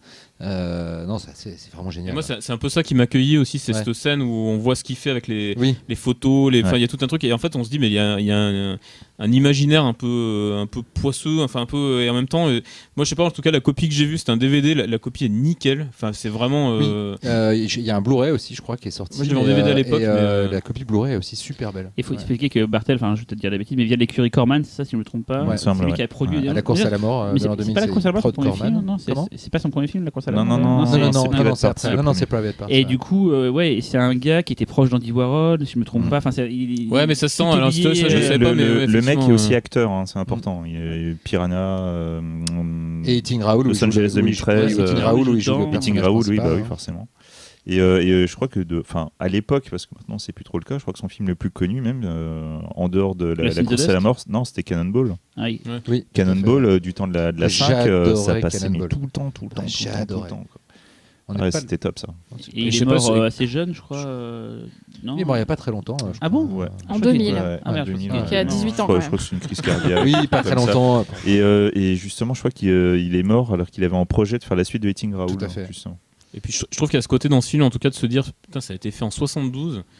Euh, voilà, enfin c'est des, des- je trouve qu'il y a une, enfin, une audace, en tout cas une. Ah, totalement, t'as as un sous-texte sexuel Ouais, qui, ouais, est, qui est- euh, qui est waouh. C'est hyper li- tout le film est hyper libidineux en fait, même avec l'héroïne en fait, enfin qui est toute gamine en fait, qui, qui a 25 ans, je me suis, Ouais. j'ai regardé, puis en fait qui en fait, euh, qui en paraît 16 quoi. Enfin c'est c'est euh, une gamine qui veut être traitée comme une femme, mais Ouais. qui se trompe sur ce qu'est une femme. Enfin, c'est c'est vraiment bizarre. Quoi. Le film est rétardé quand même euh, dans les relations entre les Ouais. différents personnages et c'est assez drôle en fait compte. euh, Ouais, après c'est ça, c'est que c'est pas c'est pas glauque, c'est- il y a toujours un espèce de, de- une espèce de distance en fait, il y a une espèce de flegme, je sais pas comment dire, mais euh, du coup c'est euh, ça reste vachement, euh, je sais pas, c'est c'est très dur à définir, mais c'est- c'est c'est- c'est ça en fait qui m'a moi qui m'avait accueilli quoi. Ouais. Ah, ça n'arrête pas de changer de braquet en plus. Ouais. C'est-à-dire que ça commence. euh, là, Il y, a- il y a un meurtre euh, assez sanglant, une décapitation bien vénère. Tu dis ok, donc ça va être un slasher un peu gore. Et en fait, après, il y a quasiment plus de meurtre. Euh, ça part complètement dans autre chose. Après, ça devient un peu cul. Après, ça devient psychologique. Après, c'est. il y a- des idées, je trouve, de graphiques, quoi, avec les- le jeu avec les photos. C'est là peut-être qu'on retrouve le côté un peu euh, écurie Warhol, comme et le, enfin que voilà, moi ça avait été une bonne claque, euh, enfin que j'avais- que j'avais pris tout seul. D'ailleurs, j'avais regardé comme ça un soir. dans les bacs à seuls, tu vois pas que des nanars aussi. Tu vois Ah les, ouais, ouais, les ouais. petites bombes. euh, Non mais et du coup c'est c'est très étonnant parce qu'à chaque fois que j'en parle en fait les gens ne connaissent pas ce film et je me suis dit bah pourquoi c'est un film de festival? Parce qu'en fait c'est un film qui a priori ne passera plus euh, jamais à la télé quoi enfin je vois pas où euh, hormis euh, dans des dans des bouquets très spécialisés Ah. euh, et, et du coup c'est peut-être là aussi où les festivals peuvent euh, Bah, faire à, voilà, à- quoi. à Lyon, nous, on en- sur les sciences collectives, en 2010, on a fait un cycle très court sur Paul Bartel et on avait passé justement King Raoul, Lost in the Dust, qui est un western qu'il a fait avec Divine, célèbre actrice, acteur de, de, de- de- John John Waters. Waters. John Waters, Et on avait passé euh, la course à l'an 2000 quoi. Donc euh, c'est un, un- Bartel, c'est un bon qu'on Ouais. essaie de le mettre en avant. Voilà, c'est- et Private Parts tu connaissais toi ou- Ouais, mais c'était compliqué, on n'avait pas trouvé les droits, Ouais. on n'avait pas trouvé la copie. Moi, je l'avais pas vu à l'époque, mais euh, Laurent, euh, avec qui je travaillais sur le festival, elle voulait vraiment passer Private Part. C'était même plus son choix que euh, Lost in the Dust. Et euh, par faute de copie et de droits, parce qu'en 2010, c'était euh, plus compliqué à l'époque, on n'a pas pu le passer. Quoi. Ta séance jeunesse.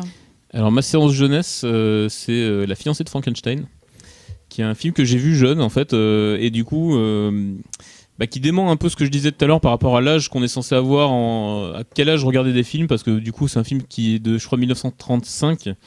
Et en fait, qui vieillit pas. Enfin, qui est, euh, que je trouve vraiment merveilleux, qui est, qui est beau, qui est, qui est hyper iconique, enfin, qui a marqué la, bah, le cinéma fantastique, je pense, pour les, le siècle. euh. J'ai appris qu'ils j'ai cru comprendre qu'ils allaient faire un remake. Ouais, ouais, mais en mode Dark Universe euh, avec la momie. Universal qui Ah. essaie de rebooter toutes ces figures. Ouais, euh, Aucun voilà. intérêt. quoi.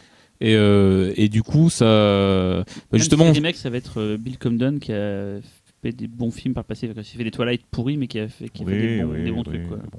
Excuse-moi. Il Ouais. avait fait ni, euh, ni, euh, ni Dieu Oui. ni monstre. Voilà. Oui, Oui, justement, bah, un justement, truc sur James Whale. Monster. ouais. Sur James Ouais. Whale, le Golden réalisateur de. On avait passé d'ailleurs à Lyon aussi. T'as fini, oui. Ouais, on passe de bons Ah. trucs, j'en parle. Laissez parler l'invité. Et du coup, Ouais. j'avais lu le bouquin euh, dont est tiré euh, Gods and Monsters, Mm. qui est vachement bien et qui explique, euh, qui raconte un peu l'histoire. hein. C'est un peu fantasmé, donc c'est pas tout euh, factuel. L'histoire de James Wells qui, euh, qui se retrouve euh, vieux réalisateur dans les années 50, je pense, et un peu, euh, un peu passé, euh, qui, voilà, qui est un peu sorti du, du circuit. euh, euh, avec toute une histoire de bah, c'est un, c'est un homosexuel James Wells donc euh, comment ça se vit dans les années 50 euh, 40 Et, et- euh, et 30, surtout, euh, détail très important, c'est que James Wells, c'était vraiment un homosexuel dit notoire. Il, Ouais. il n'hésitait pas à s'afficher et c'était vraiment très très rare à l'époque. Et, euh, et du coup, le film, le livre était assez, euh, assez passionnant. Il y a toute une partie qui parle un petit peu de la, la fiancée de Frankenstein quand, euh, quand justement il découvre sur le tournage en fait la fiancée qui arrive avec ce maquillage, cette coiffure complètement dingue en fait, qui est, qui est un coup de génie en fait, parce que du coup l'image est restée. On l'a retrouvée dans, enfin, elle est citée. C'est peut-être un des trucs les plus cités dans la, dans la Pop culture. pop culture quoi. Notamment par Burton, qui a été traumatisé par le film. Au-delà du raisonnable. Et du coup, moi, c'est vrai que je l'ai vu gamin. Je me souviens, il était passé à la télé. J'étais avec ma mère et j'avais regardé et j'avais pris une grosse claque à un âge où, où c'est vrai que bah, normalement, t'es pas forcément sensible aux films en noir et blanc, aux vieux films, etc. Mais le film, il- évidemment, il transcende tout ça. quoi. Enfin, il y a la scène, la fameuse scène avec le l'aveugle qui, est- Mmh. il y a Frankenstein qui, qui, qui déboule dans sa cabane, il l'accueille, etc. Enfin, il y a plein de trucs comme ça qui sont hyper Les- forts. Les décors sont extraordinaires. Ouais. Séquences C'est- extérieures, même, c'est, hein, euh, c'est ouf ce film. qui sont la plupart en studio d'ailleurs, mais euh, c'est euh, dans la forêt ou quand il est en colère et qu'il casse tout. Les euh, plans, ils sont dingues. C'est Ouais. euh, d'une beauté des, des fois j'y pense parce qu'on catalogue ça dans des films euh, vieux forcément. Mm. Mais en fait à l'époque quand tu te replaces, le cinéma e- euh, existait déjà depuis 30, euh, 35 ans. Quoi. Enfin, quand on se dit qu'Internet ça existe depuis 20 ans, enfin, finalement c'était déjà il y avait une sophistication qu'on que des fois on prend plus la peine de de, de- de savourer et puis c'est des films aussi encore une fois qui euh, la dernière fois je sais plus je lisais des trucs justement on parlait de Netflix tout à l'heure euh, ils, ils faisaient le compte des films euh, qui datent de avant 80 avant 70 avant et c'est des films qui justement qu'il faut pas faire disparaître parce que et c'est pour ça que je pense que des séances jeunesse enfin en l'occurrence moi ça serait une séance jeunesse parce que c'est complètement un film qu'on peut se prendre dans la, dans la gueule en étant gamin parce que justement il y a, y a une espèce de, poésie de beauté qui à mon avis parle à tout le monde quoi. On l'a- passé en séance scolaire il y a l'année dernière au PIF, donc avec des classes qui sont venues voir le film, et j'ai pu j'ai assisté à la, aux questions-réponses après, c'est Fausto qui, qui animait le débat. Et les enfants, ils ont vraiment flippé, ils, ont, ils avaient plein plein de questions, ils étaient, mais ils étaient à fond, hein, et ils n'ont pas vu le film comme un truc ancien. C'était des 8-11 ans, et ils, étaient, ils ont vraiment adoré, et ils avaient plein de questions très pertinentes et tout. C'était, c'était, euh, ça faisait chaud au cœur de se dire, bah voilà, Ouais. en fait, le cinéma marche toujours, il y a son pouvoir d'évocation, euh, qu'importe les âges. Des enfants de l'année dernière ont, ont vu ça sur grand écran. C'est un film qui dure, qui dure une heure et quart en plus oui, je il est crois. très court, donc c'est parfait. Ce qui, est et- fa- ce qui est fascinant, c'est la façon dont il commence, c'est-à-dire dans cette discussion entre Marie Shelley, euh, l'auteur, Ouais. une actrice qui incarne Marie Shelley et un, atta- un acteur qui incarne Lord Byron, et qui discutent sur, euh, sur euh, le Frankenstein original et qui commence à imaginer ce que pourrait être une suite, et ça devient le film. C'est, en plus, c'est tellement brillant en introduction. euh, bon, c'est un chef-d'œuvre. Et du coup Guns N' Monster euh, le film et euh, je l'ai pas vu il est Il est curieux. Ouais. C'est- C'est intéressant. C'est avec euh, merde euh, Magneto. euh, Ian McKellen. Ian McKellen qui Serge. fait donc. euh, Et, euh, et, et Brandon euh, Fraser. et Brandon Brendan Fraser. Fraser. Brandon Fraser fait un minet euh, qui, qui tourne Et le autour de- jardinier. voilà, le jardinier, voilà, qui tourne Ouais. autour de. de, de Mais le casting est bien parce que quand tu lis le livre en fait c'est vrai que j'avais vu regarder après sur euh, sur IMDb et en fait tu ouais tu te dis ça, ça colle exactement euh, enfin pour le coup c'est bien euh, C'est pas un film parfait, mais il est, il est intéressant. Leur relation est assez intéressante et tout. euh, Mais je pense que le livre c'est pareil, c'est pas un livre euh, parfait, mais j'aime bien moi, tout ce qui évoque un peu Hollywood comme ça des années 30, 40. Enfin c'est, euh, il parle un peu de la production, des studios, il y avait tout ce faste un peu. euh, parce que tous les réalisateurs qui étaient attitrés à des studios, Ouais. justement, qui étaient des, des exécutifs, on va dire, quoi. Et c'est marrant de voir. euh, Exécuteur. Oui. Parce que les exécutifs, c'est ceux qui décident des oui, mais je te, je te plaise, moi compris. Et d'ailleurs, petit détail aussi sur la, aussi, sur la fiancée de Frankenstein, qui est un point de vue personnel. Et pour moi, c'est l'un des tout premiers films euh, queer euh, qui a été réalisé. Si vous regardez le film sous un angle euh, d'histoire homosexuelle entre la- le créateur et sa créature, vous allez voir que vraiment vous avez un film queer qui est vraiment super intéressant. Mais je pense que ouais, je crois que dans le livre il y a des il y a des analyses comme ça. C'est Mm, mm, mm. Pretorius donc qui, est un- Ouais. qui, qui- qui symbolise un Voilà, peu. le- et, et en fait, il y a une scène, le- la scène de l'ermite en fait qui a posé beaucoup de problèmes. Où en Oui, fait, à un un moment, plan, t'as la créature et. Bon, on vous, verrez- on vous verrez. Et en fait, c'est même le caméraman qui avait dit à James Well cette scène-là, tu risques d'avoir des problèmes. On termine avec ta séance interdite. Alors ma séance interdite, euh, ça serait The Manson Family, euh, qui est un film que j'avais, je, je crois que je l'avais acheté suite à la lecture de la chronique d'Armad d'ailleurs. Euh, et pareil, j'avais, je pense que c'est le genre de film qui, qui doit être hyper clivant. Je l'ai pas vu en festival, alors je, je peux pas dire. Mais je pense que ça, je comprends que ça laisse euh, sur le bord de la route euh, des gens qui, qui soient pas sensibles à ce. Ça, c'est un film qui raconte Manson Family, donc qui raconte le.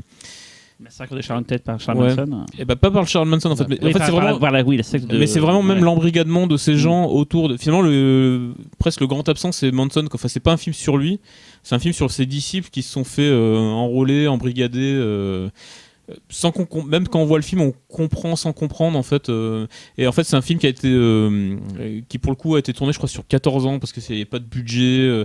et, donc les acteurs vieillissent. Il y a 14 ans d'écart entre le moment où ils, ils ont tourné les scènes avec Manson au moment de la des assassinats et puis de l'en- de l'enrôlement, et puis après où il témoigne, c'est une sorte de faux documentaire en quelque sorte.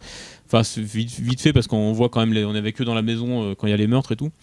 Et, euh, et il est très outrancier, c'est-à-dire que c'est toujours, euh, c'est très stylisé. Il y a- beaucoup de, de filtres, de, enfin de filtres. De, je pense qu'il a filmé pas mal en pellicule. Il a, il a filmé des télés qui, qui, qui diffusent des trucs. Enfin, Moi, je l'ai vu en 35 mm Ouais. dans un festival. Oui, de toute façon, je pense que- ouais. film en pellicule en tout cas. Mais après, il y a beaucoup de, de trucs où il filme des écrans, c'est distordu, il y a beaucoup de sound design. Enfin, c'est très. euh, voilà, là pour le coup, la mise en scène, c'est, elle, elle saute aux yeux. Mais moi, ça, m'a, moi, ça me parle. En tout cas, après, je comprends que. C'est très dérangeant comme film. Ouais. Moi je me rappelle que quand je l'ai vu, je savais absolument pas quoi. J'avais, je me rappelle plus si je l'avais loué en VHS ou en DVD, mais je l'avais loué. Euh, et euh, je savais absolument pas à quoi m'attendre. Et euh, c'était vraiment très dérangeant.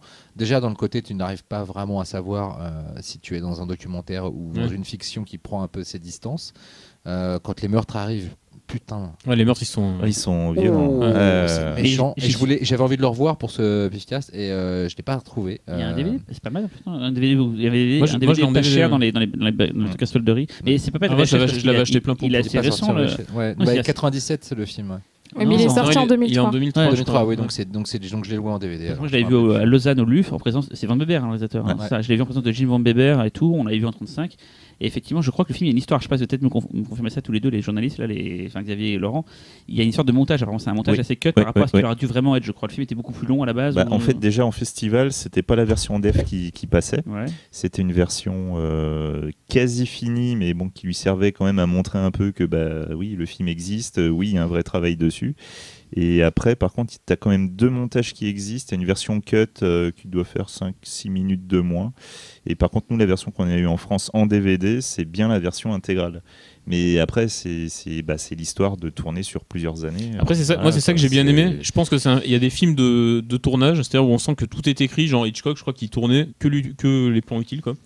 Et là, on sent que c'est le mec, il, a, il savait pas où il allait exactement, et donc je pense qu'après, il y a tout s'est joué en salle de montage. Ouais.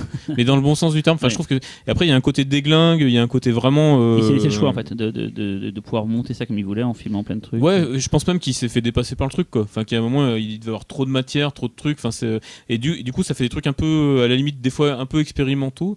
Mais je trouve que c'est toujours dans le. Enfin, moi, ça me parle en tout cas dans le bon sens du terme. Il y a un grain qui est, qui est assez dingue, quoi. Enfin, un grain vraiment euh, gros grain, 16 mm, des, des images euh, toutes euh, rayées et tout, mais qui servent vraiment le film. Et je trouve qu'il, en fait, il, il met le doigt sur un truc, euh, enfin, qui est un peu, je trouve, le ce, ce fait divers. Enfin, c'est la fin des la fin de l'utopie euh, hippie quoi. Enfin, les, clairement les mecs au début ils sont dans un espèce de truc euh, euh, une, ouais, une forme d'utopie hippie, la vie communautaire, le sexe, machin et tout. Et puis en fait, euh, ça vire au, au cauchemar. Et là, je trouve qu'il a, ré- il a réussi son coup. C'était le truc à pas rater, c'était les Mhm. meurtres. C'est ce que veut faire d'ailleurs Tarantino pour son prochain film, euh, What's Upon a Time in Hollywood, où il va parler justement du, du- de, de l'époque et de, de tout ça via le prisme de, ce- de cette affaire en fait. euh. Ouais. Et donc moi ça m'a surpris quand tu as choisi ce film-là pour euh, parce que c'est ça que c'est un film que personne ne cite jamais en fait, qui est un peu un oublié, mais euh, c'est ça que ça m'a. Enfin je sais pas, c'est pareil pour vous, ça vous a, pas- ça vous a surpris un petit peu non Euh, oui, oui, moi personnellement, moi, moi, personnellement, ça ça- ça m'a surpris. Et, Vous, l'avez- euh, vous l'avez aimé? Enfin, ou- parce qu'après, je, je sais pas si. Alors, Moi, c'est pas que j'ai pas aimé, euh, mais c'est qu'en fait, j'ai pas arrêté de penser à Last House euh, on Ouais. Dead End Street euh, tout du long. Et euh, forcément, moi, Last House on Dead End Street, c'est un film que j'adore vraiment. Donc, du coup, je le, pour moi, il est un peu en Ah, dessous. c'est l'inverse, je préfère, euh, je Mais- préfère Manson Family. mais, mais en fait, effectivement, moi, j'aime le switch de, de, de, de l'utopie hippie euh, qui finalement va se corrompre elle-même et arriver dans un cauchemar absolu. Je trouve que vraiment, en fait, le film, en effet, arrive à montrer, à se faire ressentir à quel point ça a dû être. Enfin, c'est, une putain de descente aux enfers. Et il y arrive pas seulement juste par la grâce d'un scénario et des acteurs, mais avec un vrai travail audiovisuel, Ouais. fait en plus avec euh, quelque part les moyens du bord, mais du coup extrêmement bien fait, je trouve.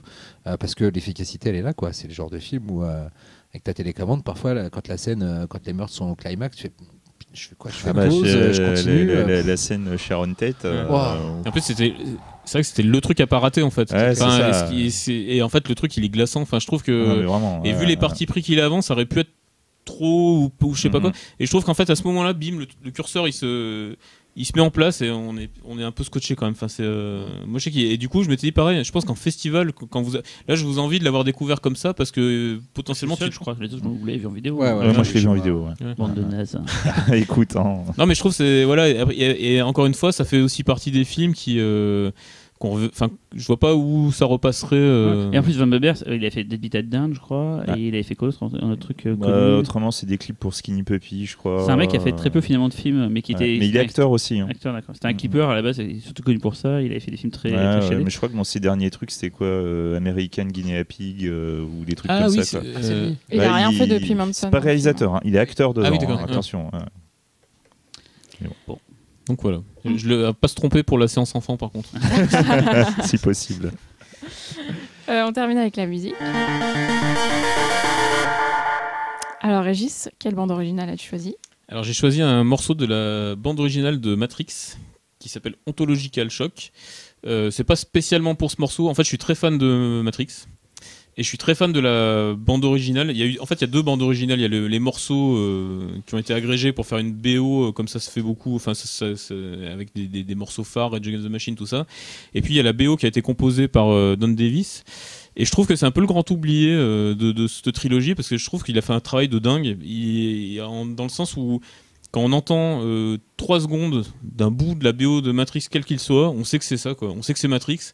Rien qu'avec les cuivres, les arrangements de cuivres, de cordes, de trucs, un, accord, on, est dans le film. Au même titre que le logo Warner Bros euh, vert avec les pixels, enfin c'était. Et, euh, en fait, je, trouve ça super fort parce que c'est c'est pas la portée de tout le monde. Matrix, je trouve que c'est un film qui a été vachement, alors pas le premier, mais les deux et trois, je, les ai vachement défendus. Je trouve qu'ils ils ont été un peu injustement euh, reçus à l'époque. Il me semble que l'époque actuelle donne un peu raison. Enfin, permettrait de les réévaluer un petit peu. J'espère que je vais pas poser un pavé dans la mare euh, là-dedans, mais voilà, quand on voit tous les Marvel, les machins, les trucs, je me dis en fait, euh, est-ce que c'est pas un peu les derniers films de super-héros originaux euh, qu'on ait vus? Alors qu'à l'époque, ils s'étaient décriés eux pour picorer plein d'in- plein d'influences à droite à gauche, etc. Et en tout cas, la BO, le boulot qu'a fait le Don Davis, qui a pour moi injustement disparu derrière. Enfin, je pensais qu'après ça allait devenir un, des mecs qui allait compter. Et en fait, je crois qu'il a fait une carrière. La dernière fois que j'en ai entendu parler, c'était dans The Marine. Et là, je me suis dit, putain, il y a un problème, quoi. Et depuis, il a arrêté. Il a arrêté, c'est Je crois qu'il a carrément arrêté. Alors que je trouve que ses arrangements sont juste fous, en fait. Bah, La euh. BO de Matrix, c'est juste. euh, moi, j'ai j'en ai- j'ai des frissons quand je l'écoute, quoi. En effet, l'utilisation des cuivres qui sont presque utilisés comme de la, de la percussion. Euh, non, les ta ta ta ta ta ta ta ta ta ta ta ta. C'est pas moi, c'est pas moi. C'était audacieux, mais c'était. Non, j'ai trouvé le son et tout. Moi, Et, c'est le- marrant. et le- et la façon dont ils soutiennent le rythme des, des- des scènes de combat. Euh, parce qu'il y a une vraie chorégraphie musicale euh, dans le film qui soutient le montage des scènes de combat et l'enchaînement des plans. Enfin, c'est complètement barge. Non, mais elle, est- elle est incroyable cette BO. Je me souviens, je l'avais acheté à l'époque. Enfin, c'est les anecdotes de Tonton Cyril. En fait, je kiffais la Putain, on va mu- t'appeler comme je ça, kiffais la musique de la bande-annonce. Et, Et je elle pensais, était pas et dedans. je pensais qu'elle serait dedans. En fait, la musique de c'est-à-dire qu'il n'aime pas dans le film, c'est la musique de Enigma, The Eye of, Eye of Truth. Et j'étais dégoûté de qu'elle ne soit pas dedans. J'ai fait toutes les plages une par une. Et finalement, j'ai quand même pris le temps après d'écouter la BO. Je l'aime bien, mais voilà, c'était une déception à la base. Qui finalement a été un, un plaisir. Mais voilà, je... donc sachez-le, la BO. Donc sachez-le, Cyril écoute Enigma. Ouais, c'est surtout ça l'info, Ah, je mais pense. j'adore Enigma. Ça, je pourrais un jour en parler. Vraiment, j'en j'en travers. Parce que c'est un des morceaux préférés de mon fils. Ah, tu vois. Chaque fois qu'il entend des chœurs, des, des- des bien. euh, des chœurs gothiques dans une musique, il chante, du- il me chante euh, ce The morceau. Truth, le morceau dont je vous parle, il est aussi dans le générique. Il était remixé dans le, la bande, le DVD quand le DVD est sorti. C'est un. DVD assez important à l'époque parce que c'était un plein De bonus de machin de Matrix. no- notamment le bonus euh, Follow the White Rabbit où tu pouvais euh, Ouais, interrompre ah oui, le. voilà.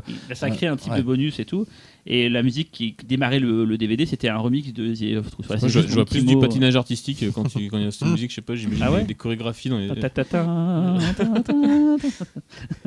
Voilà, bah écoute. euh, Bah, merci euh, Régis pour ce choix musical qu'on va écouter tout de suite. Mais avant ça, on va rappeler quand même que la nuit Nanarland 3, c'est le 22 septembre euh, au Grand Rex. 19h30.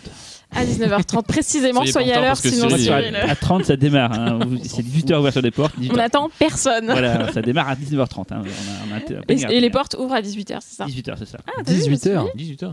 Une heure et demie à se faire chier à attendre. Ah, mais euh, si vous voulez rentrer à 18h, vous pouvez, on, fait- on commence à faire rentrer par Ah, bah, après, il y 18h. aura Bah, place. pourquoi une heure et demie On sera tous là, on va pouvoir discuter, ce sera Ouais. super sympa. Ce Bah sera ouais. beau.